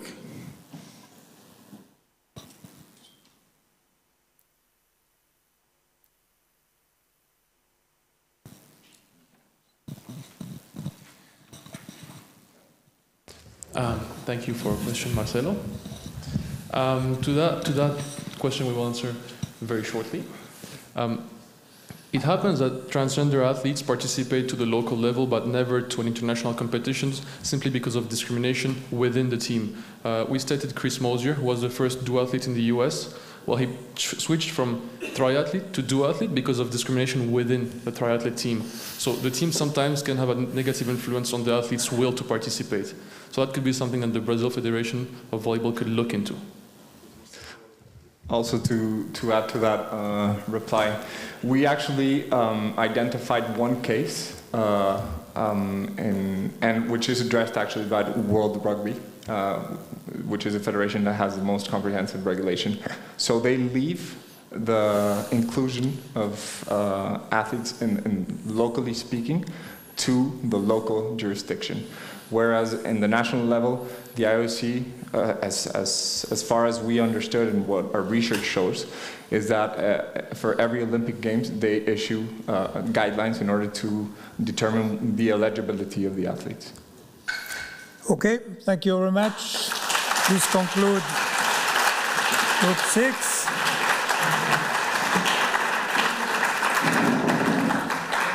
And now we have the last group, group seven.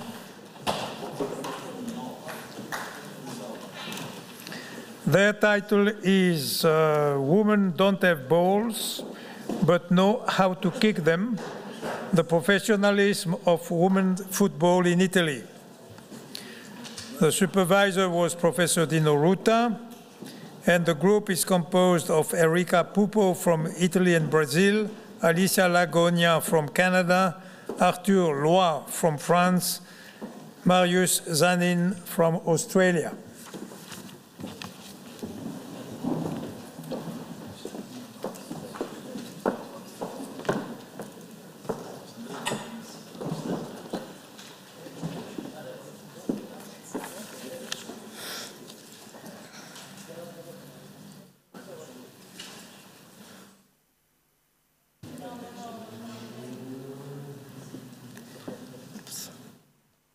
Volume? Technical issue. What's up? We have a technical issue, there's no volume?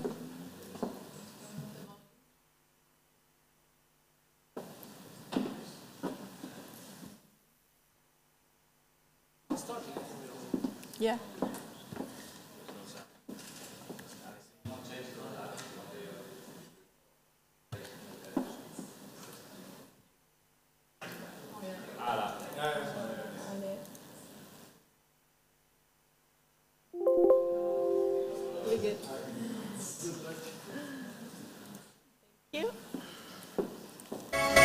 Seit es uns gibt, treten wir nicht mehr gegen Gegner an, sondern vor allem gegen Vorurteile. Frauen sind zum Kinderkriegen da. gehören in die Waschküche. Wie Amateurfußball, nur in Zeitlupe. Aber weißt, Aber du, weißt was? du was? Wir brauchen, Wir brauchen keine, keine Eier. Wir, wir, wir haben, Pferdeschwänze. Wie, wie bitte? Nice. nice. Women don't have balls but know how to kick them. Our controversial title, especially after our colleague's transgender presentation. As a professional footballer myself, this ad really hit home. Not only for me, but also for our group as a whole, as we feel it encapsulates the essence of women's football in an uncompromisingly direct, fierce, and honest way that reveals the truth about the sport. Lack of interest and negative attitudes towards the game and female footballers have made it hard for it to establish itself. However, the tide has changed direction and we're now riding a new wave in women's football worldwide. The question is no longer whether women can play entertaining football or not. The issue now is whether they have the necessary structure around them to make the game move forward and establish itself as commercially viable and professional. We are GR7, the seventh and final group of the 19th edition FIFA Master. We decided to focus our attention on the professionalization of women's football.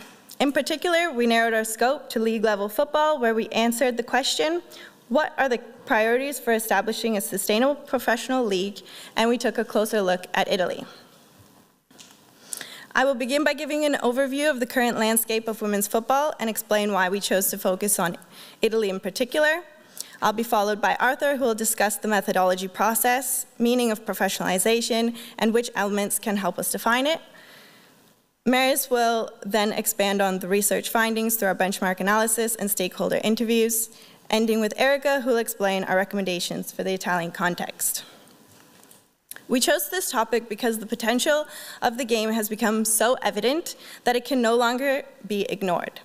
The shifting global attitude toward female empowerment movements like Me Too have helped to raise the voices within women's sports.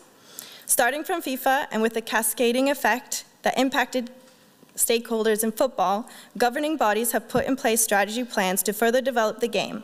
The changes in the past five years are impressive, as you can see. These changes are unique to previous years as there are fundamental elements being put in place and private investments that further define the landscape. Milestones have become larger and far more frequent. From record club attendances in Mexico, Spain, and Italy, where spectators were given free or discounted tickets, and landmark sponsorship deals in China and England. Finally, women are being recognized equally on the global stage and being included in awards such as the Ballon d'Or, various Hall of Fames, and the FIFA Pro Best 11. The world has now recognized the potential of women's football. It is now time to materialize it and provide the professional platform needed for women, for more women to advance the game. We believe that in order to sustain the growth of women's football, the professionalization of the sport is key. There's also, evi there's also evidence by looking at the recent World Cup in France, where of the top four teams, two have fully professional leagues and two have well-established semi-professional leagues. We chose to focus our work on Italy because our group has an Italian connection. Apart from Arthur, who also speaks Italian, we all have ancestry from Italy. But most importantly, because Italy is in the midst of a revival and hype regarding women's football. The interest in women's football, or calcio femminile, in Italy is growing, as evidenced by the unexpected viewership ratings of the first women's Serie A to be broadcast on Sky Sports Italy, and by the large following at this summer's FIFA Women's World Cup. The women's Serie A, starting from this past season, is under the control of the Federation, or the FIGC, and we saw an enormous potential in this context. I will now pass it on to Arthur, who will explain our methodology process and definition of professionalization.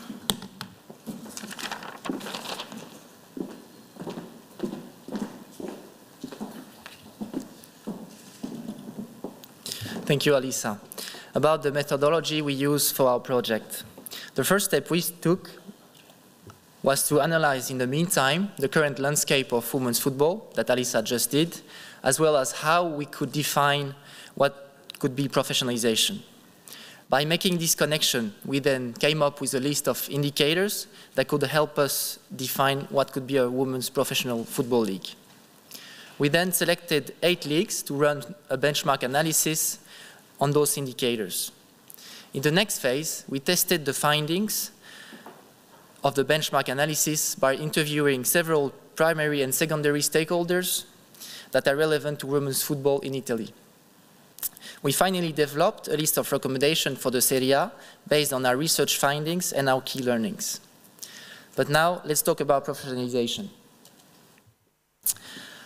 How would you define professionalization? It's not an easy task, right? Indeed, there is no overall definition of the term professionalization. Different requirements are needed to qualify a league as being professional, but it can be considered as a process to make an activity more professional. Indeed, one criteria was recurrent. A professional league is where professional players play. We needed, therefore, to look at the definition of what being a professional footballer means. According to Article 2 of the FIFA regulation on the status and transfer of players, players participating in organized football can be considered either amateur or professionals. And a professional player is a player who has a written contract with a club and is paid more for his footballing activities than the expenses he effectively incurs. All other players are considered to be amateurs. That is the FIFA definition but we have examined eight other definitions across the leagues in our research, and we have noticed that there is not a unanimous definition worldwide of a professional player. It actually depends on the country and on the criteria chosen. Are you still following me? Yet, even though there is no overall consensus on the term professionalization, we will still need it to formulate our key indicators required for women's professional leagues. Based on our research, our studies during the FIFA Master and the recent strategies we analyzed, the FIFA and the UEFA ones, for example, we came up with indicators that could help us to define what could be a women's professional league and could be potentially relevant to the Italian context. As you can see on the screen, we came up with 15 indicators and we group them into four different categories that are financial, legal, structural, and guidance. As mentioned in the methodology, after formulating our key indicators, we needed to choose the leagues we wanted to analyze. So we wanted to have an overview on how the leagues are run worldwide, to see how they measure against the key indicators we selected, and to identify practices that could be relevant to help professionalize a women's league and apply to Italy. We chose four leagues from UEFA, and other than Serie A, we included two leagues with a similar cultural background as Italy, being France and Spain, and the other one, England, being the first fully professional European women's football league. Furthermore, we try to balance the geographical distribution of the leagues by selecting countries from other confederations. We chose two leagues from CONCACAF, being USA and Mexico, one league from CONMEBOL, Argentina, and one league from the AFC, Australia. We've run a benchmark analysis on those indicators for the chosen leagues to have a deeper understanding of what is being done outside Italy to help identify practices that we could apply to the Italian context and to our case study. I will now pass it over to Marius, will talk about the findings from the benchmark analysis and the stakeholders interviews.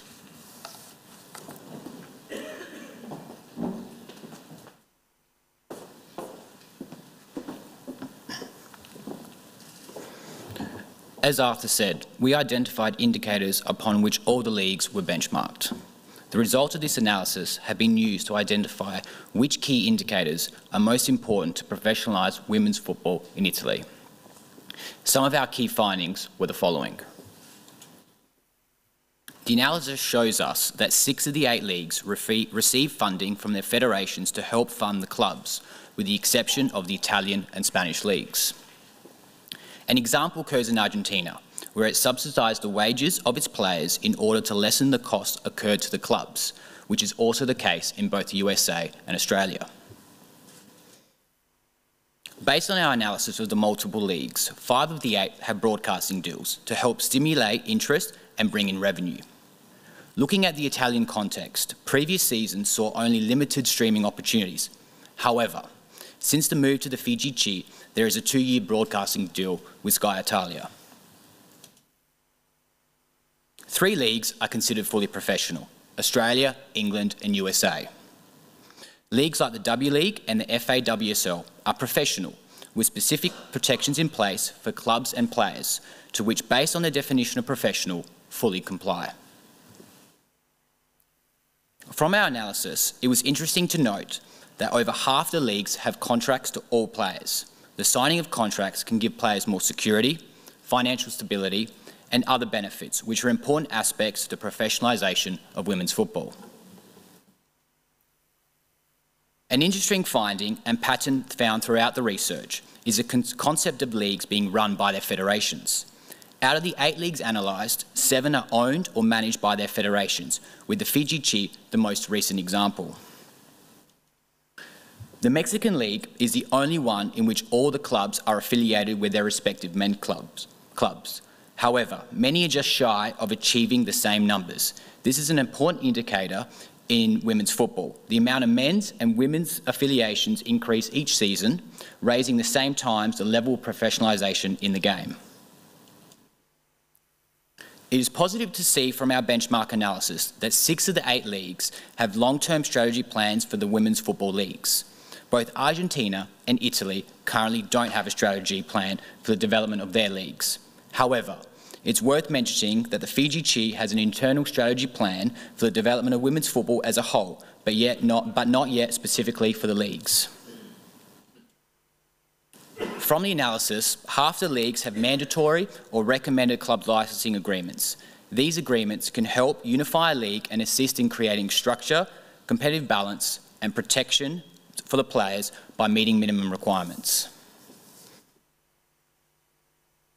Through our findings from the benchmark analysis, we then turned our attention to the Serie conducting interviews with key stakeholders to cross-check if they would mention the same indicators as their priority areas for development. As primary stakeholders, we identify the clubs, players and FIGC, while the secondary stakeholders we take into account for this research are UEFA and FIFA. From the 17 stakeholders we interviewed, it helped to confirm that many indicators we had originally considered were a priority in the Italian context, specifically the financial and guidance indicators. In regards to the financial aspect, the support and distribution of funds by the FIGC is deemed essential in particular, this is believed to be needed by those smaller clubs that increasingly struggle to help up with the change in Serie. As Domenico Bonanini from Tavagnacco said, FIGC and the Serie A clubs need to have the mindset that this is an investment, not a cost. The important step of moving away from the National Amateur League was essential towards becoming more a viable commercial product and attracting the attention of more sponsors, broadcasts, broadcasters and professional clubs. This was evident across all the interviews, especially from the president of Chievo Verona Valpo, Flora Bonafini, where she said a deal with Sky Italy would have never been possible under the National Amateur League. As mentioned earlier, half the leagues have mandatory or recommended club licensing agreements. Stefano Braghin from Juventus said, the lack of guidance has posed limitations to the many activities. It is fundamental to change this. Along with Juventus, the vast majority of the A clubs interviewed asked for increased guidance and governance guidelines through a long-term strategy plan to ensure a common vision. The Serie is considered amateur, as no female football players can have a professional status. It is interesting to note, like you can see from Alessandro Tezzi at Sassuolo, that the majority of stakeholders we interviewed believe that despite the concern around legal aspects, they do not pose an overwhelming obstacle, uh, yeah, obstacle for the development of A today. The status itself is not the main problem, the revenues are. However, from the players' point of view, especially from the two national team players we interviewed, they are of the opinion of an immediate change in the status, as you can see on the screen, that women in Italy are still not able to say, I can play football and do this for a living. Although analysis provided many insights in, on Italy, such as the upside of ownerships by the Federation, the initial broadcasting deal with Sky Italia, and affiliation with men's clubs, the aim to help professionalise the women's game in Italy was still open to question. I'll now pass you on to Erika.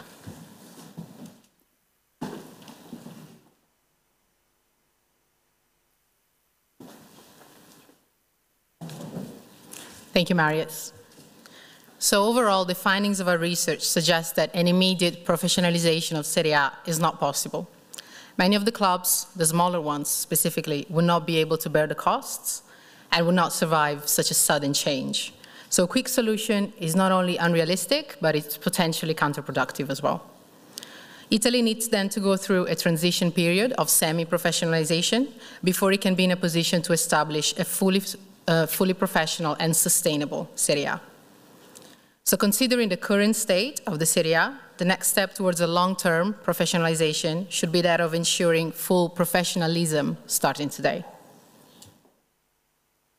The focus should be on the professional manner in which the game operates, as Francesca Sanzone from FIGC also suggested, as seen on the screen.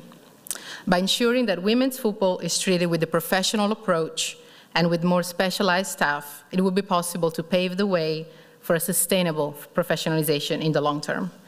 The move from the amateur league to the federation has already allowed for more professional figures to enter the game and for more specialized staff to be involved. And Serie A to be acknowledged as a commercially viable and high-profile tournament rather than a CSR project or a second-class championship.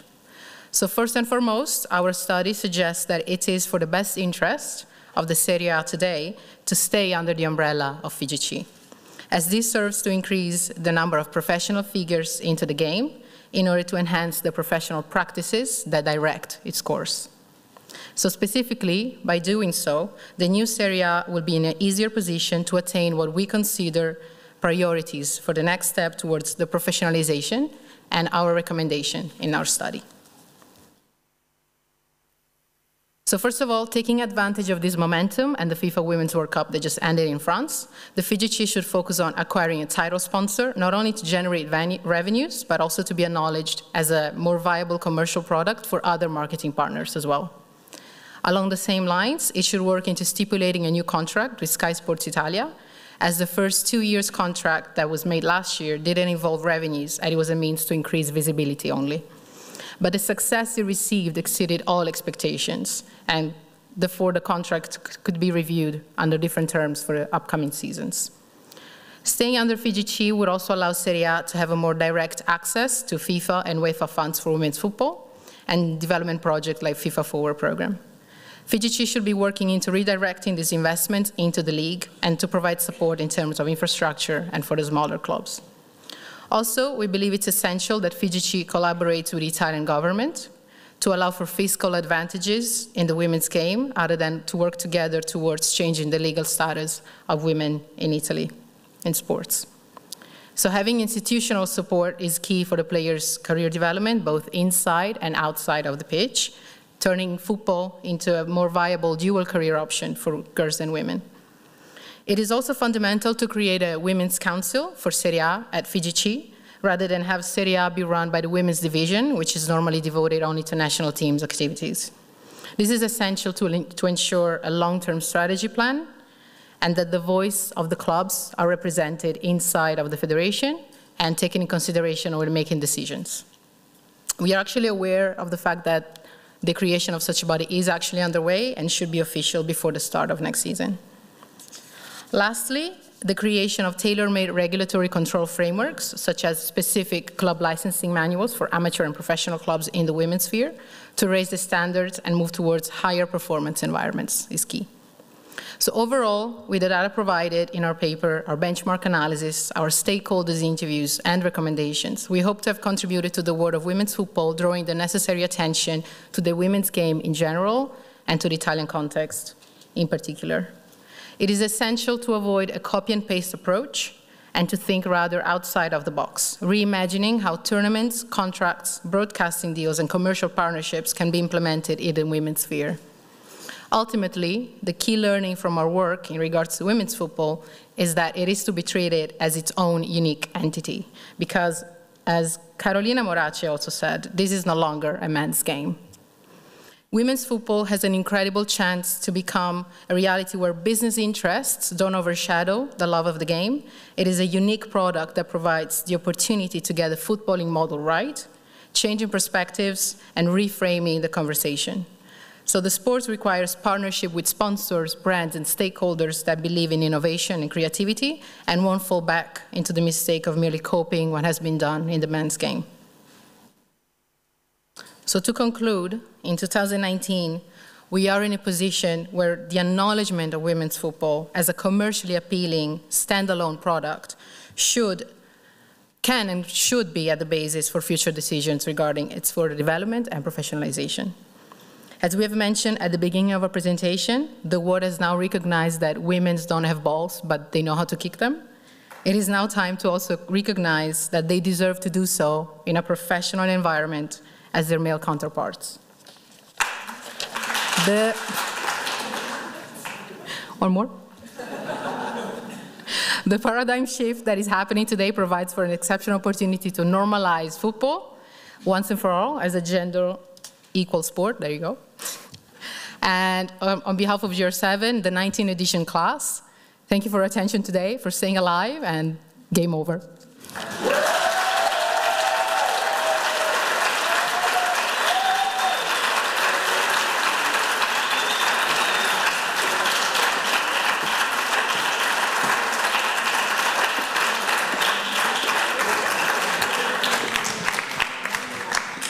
So, uh, congratulations to Group uh, 7, and uh, I think the round of applause was uh, indicating how many supporters you have for your cause. And uh, certainly, uh, those who have been watching the, the World Cup in France have been able to witness the evolution you have just described in, in Italy. It's just a question of time, like every time you have to change a little bit the culture and the mind of the people and the general mentality of the people. So congratulations, and uh, we have uh, a few minutes for questions. Pierre, yeah. Uh, yes, Professor thank you, thank you very much. I would like to start with your conclusion. Uh, you, you say copy and paste of the male game. You know, one of the strange situation at the moment is about who takes part in the professional league in women's football. And if we look at the top European countries, we see that more and more there is a tension towards traditions clubs who are different from males game and the tradition males clubs that needs to have a women's section. I mean, Real Madrid being the last one of a, of a long list of clubs like that. I was just looking and when you were talking about the fact that in Italy it's still a minority, the Serie A male football clubs that are present in the women's league, A, a league. Does it have a big impact? How does a city like Bari, for example, who lost males football, focus on, on, on women's football? Is there the, the idea of the, of the, not the big city, but the, local tradition in, in women's football. Which impact does it have in the development of the non copy paste logic for the future? Can you say us just okay, I hope the, the answer will not be longer than the, the question.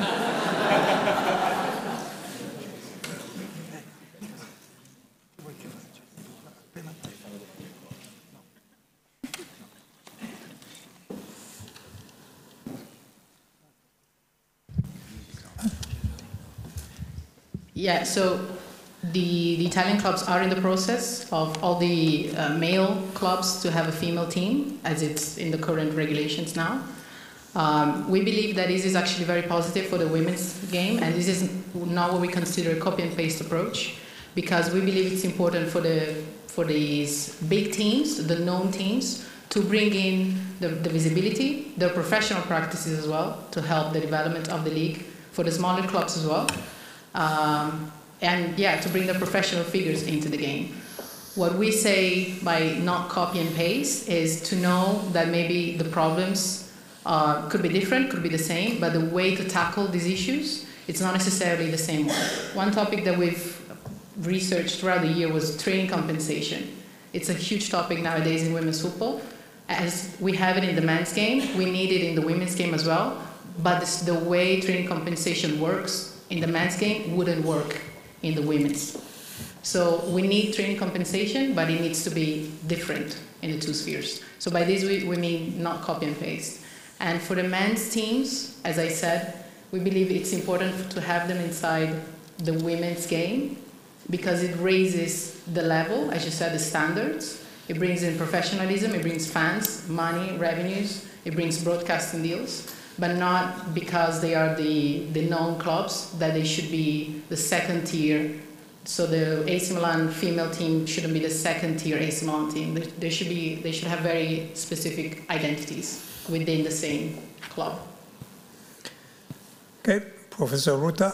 Yes, I, um, I have a question about maybe it's the 2.0 um, part of the of your uh, the second part of your study. So I want to pick a little bit of your brain.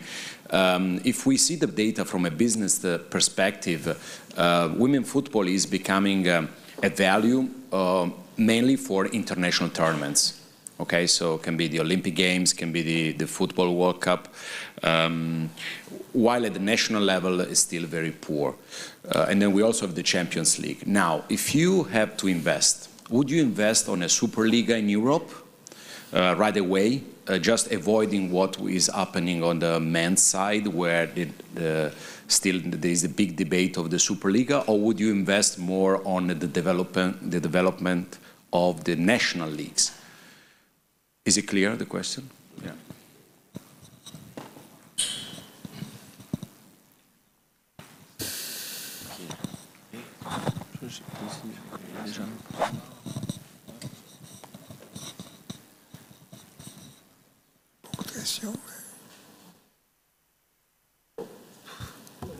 Thanks for the question, Dino. Um, our opinion is obviously to invest at the local level because we need like we need to build. So, for example, you Serie A, for example, you want to build that, so then it increases your interest in the game within Italy. You also increase interest for fans, but it also helps, I guess, increase the competitiveness and the interest in women's football as a whole. So if you look at the way Italy played in the Women's World Cup, the whole idea is to continue to build on that. So by having more clubs like Juventus, AC Milan, now Napoli is now investing in their women's team, and obviously Inter Milan did it last year, so does AC Milan.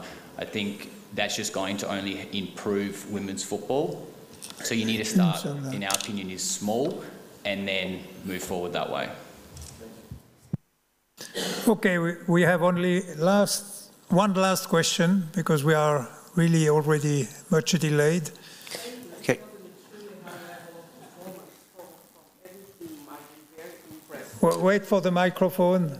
I'm sure Joao is polite enough to let you speak. I am very impressed with the level that all the teams showed in Can you- can performance. you- Congratulations.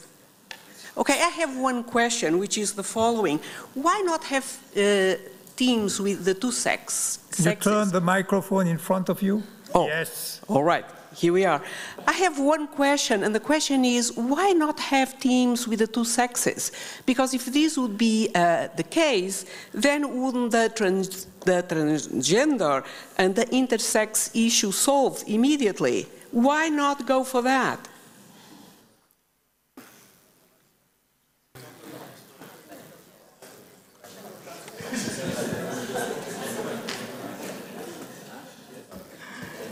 Should we bring someone from transgender up to explain that one? no, I mean it's a it's a very good question. Um, it's something that's debated, but um, I think at a more amateur level, this is definitely a possibility. Uh, it's something to consider and to look into. It wasn't necessarily in the scope of our research for this project, but um, yeah, it's it's something to think about for the future. Thank you. I'm sorry for those who still wanted to ask questions, but uh, really uh, we are delayed and uh, I, I try to be fair, make sure that each group had at least three questions. I think we have achieved that. So thank you very much again for your excellent presentation.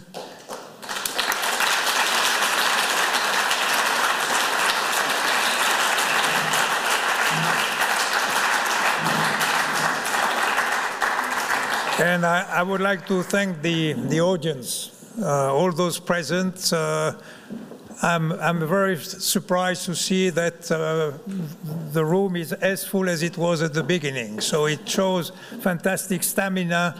The student, you, you were obliged to stay, but uh, the, the rest of the, the family members and so on, and the, the other people interested in, uh, in, in listening to the students, they, they really were kind enough to stay until the end. And uh, I would like to thank you very much.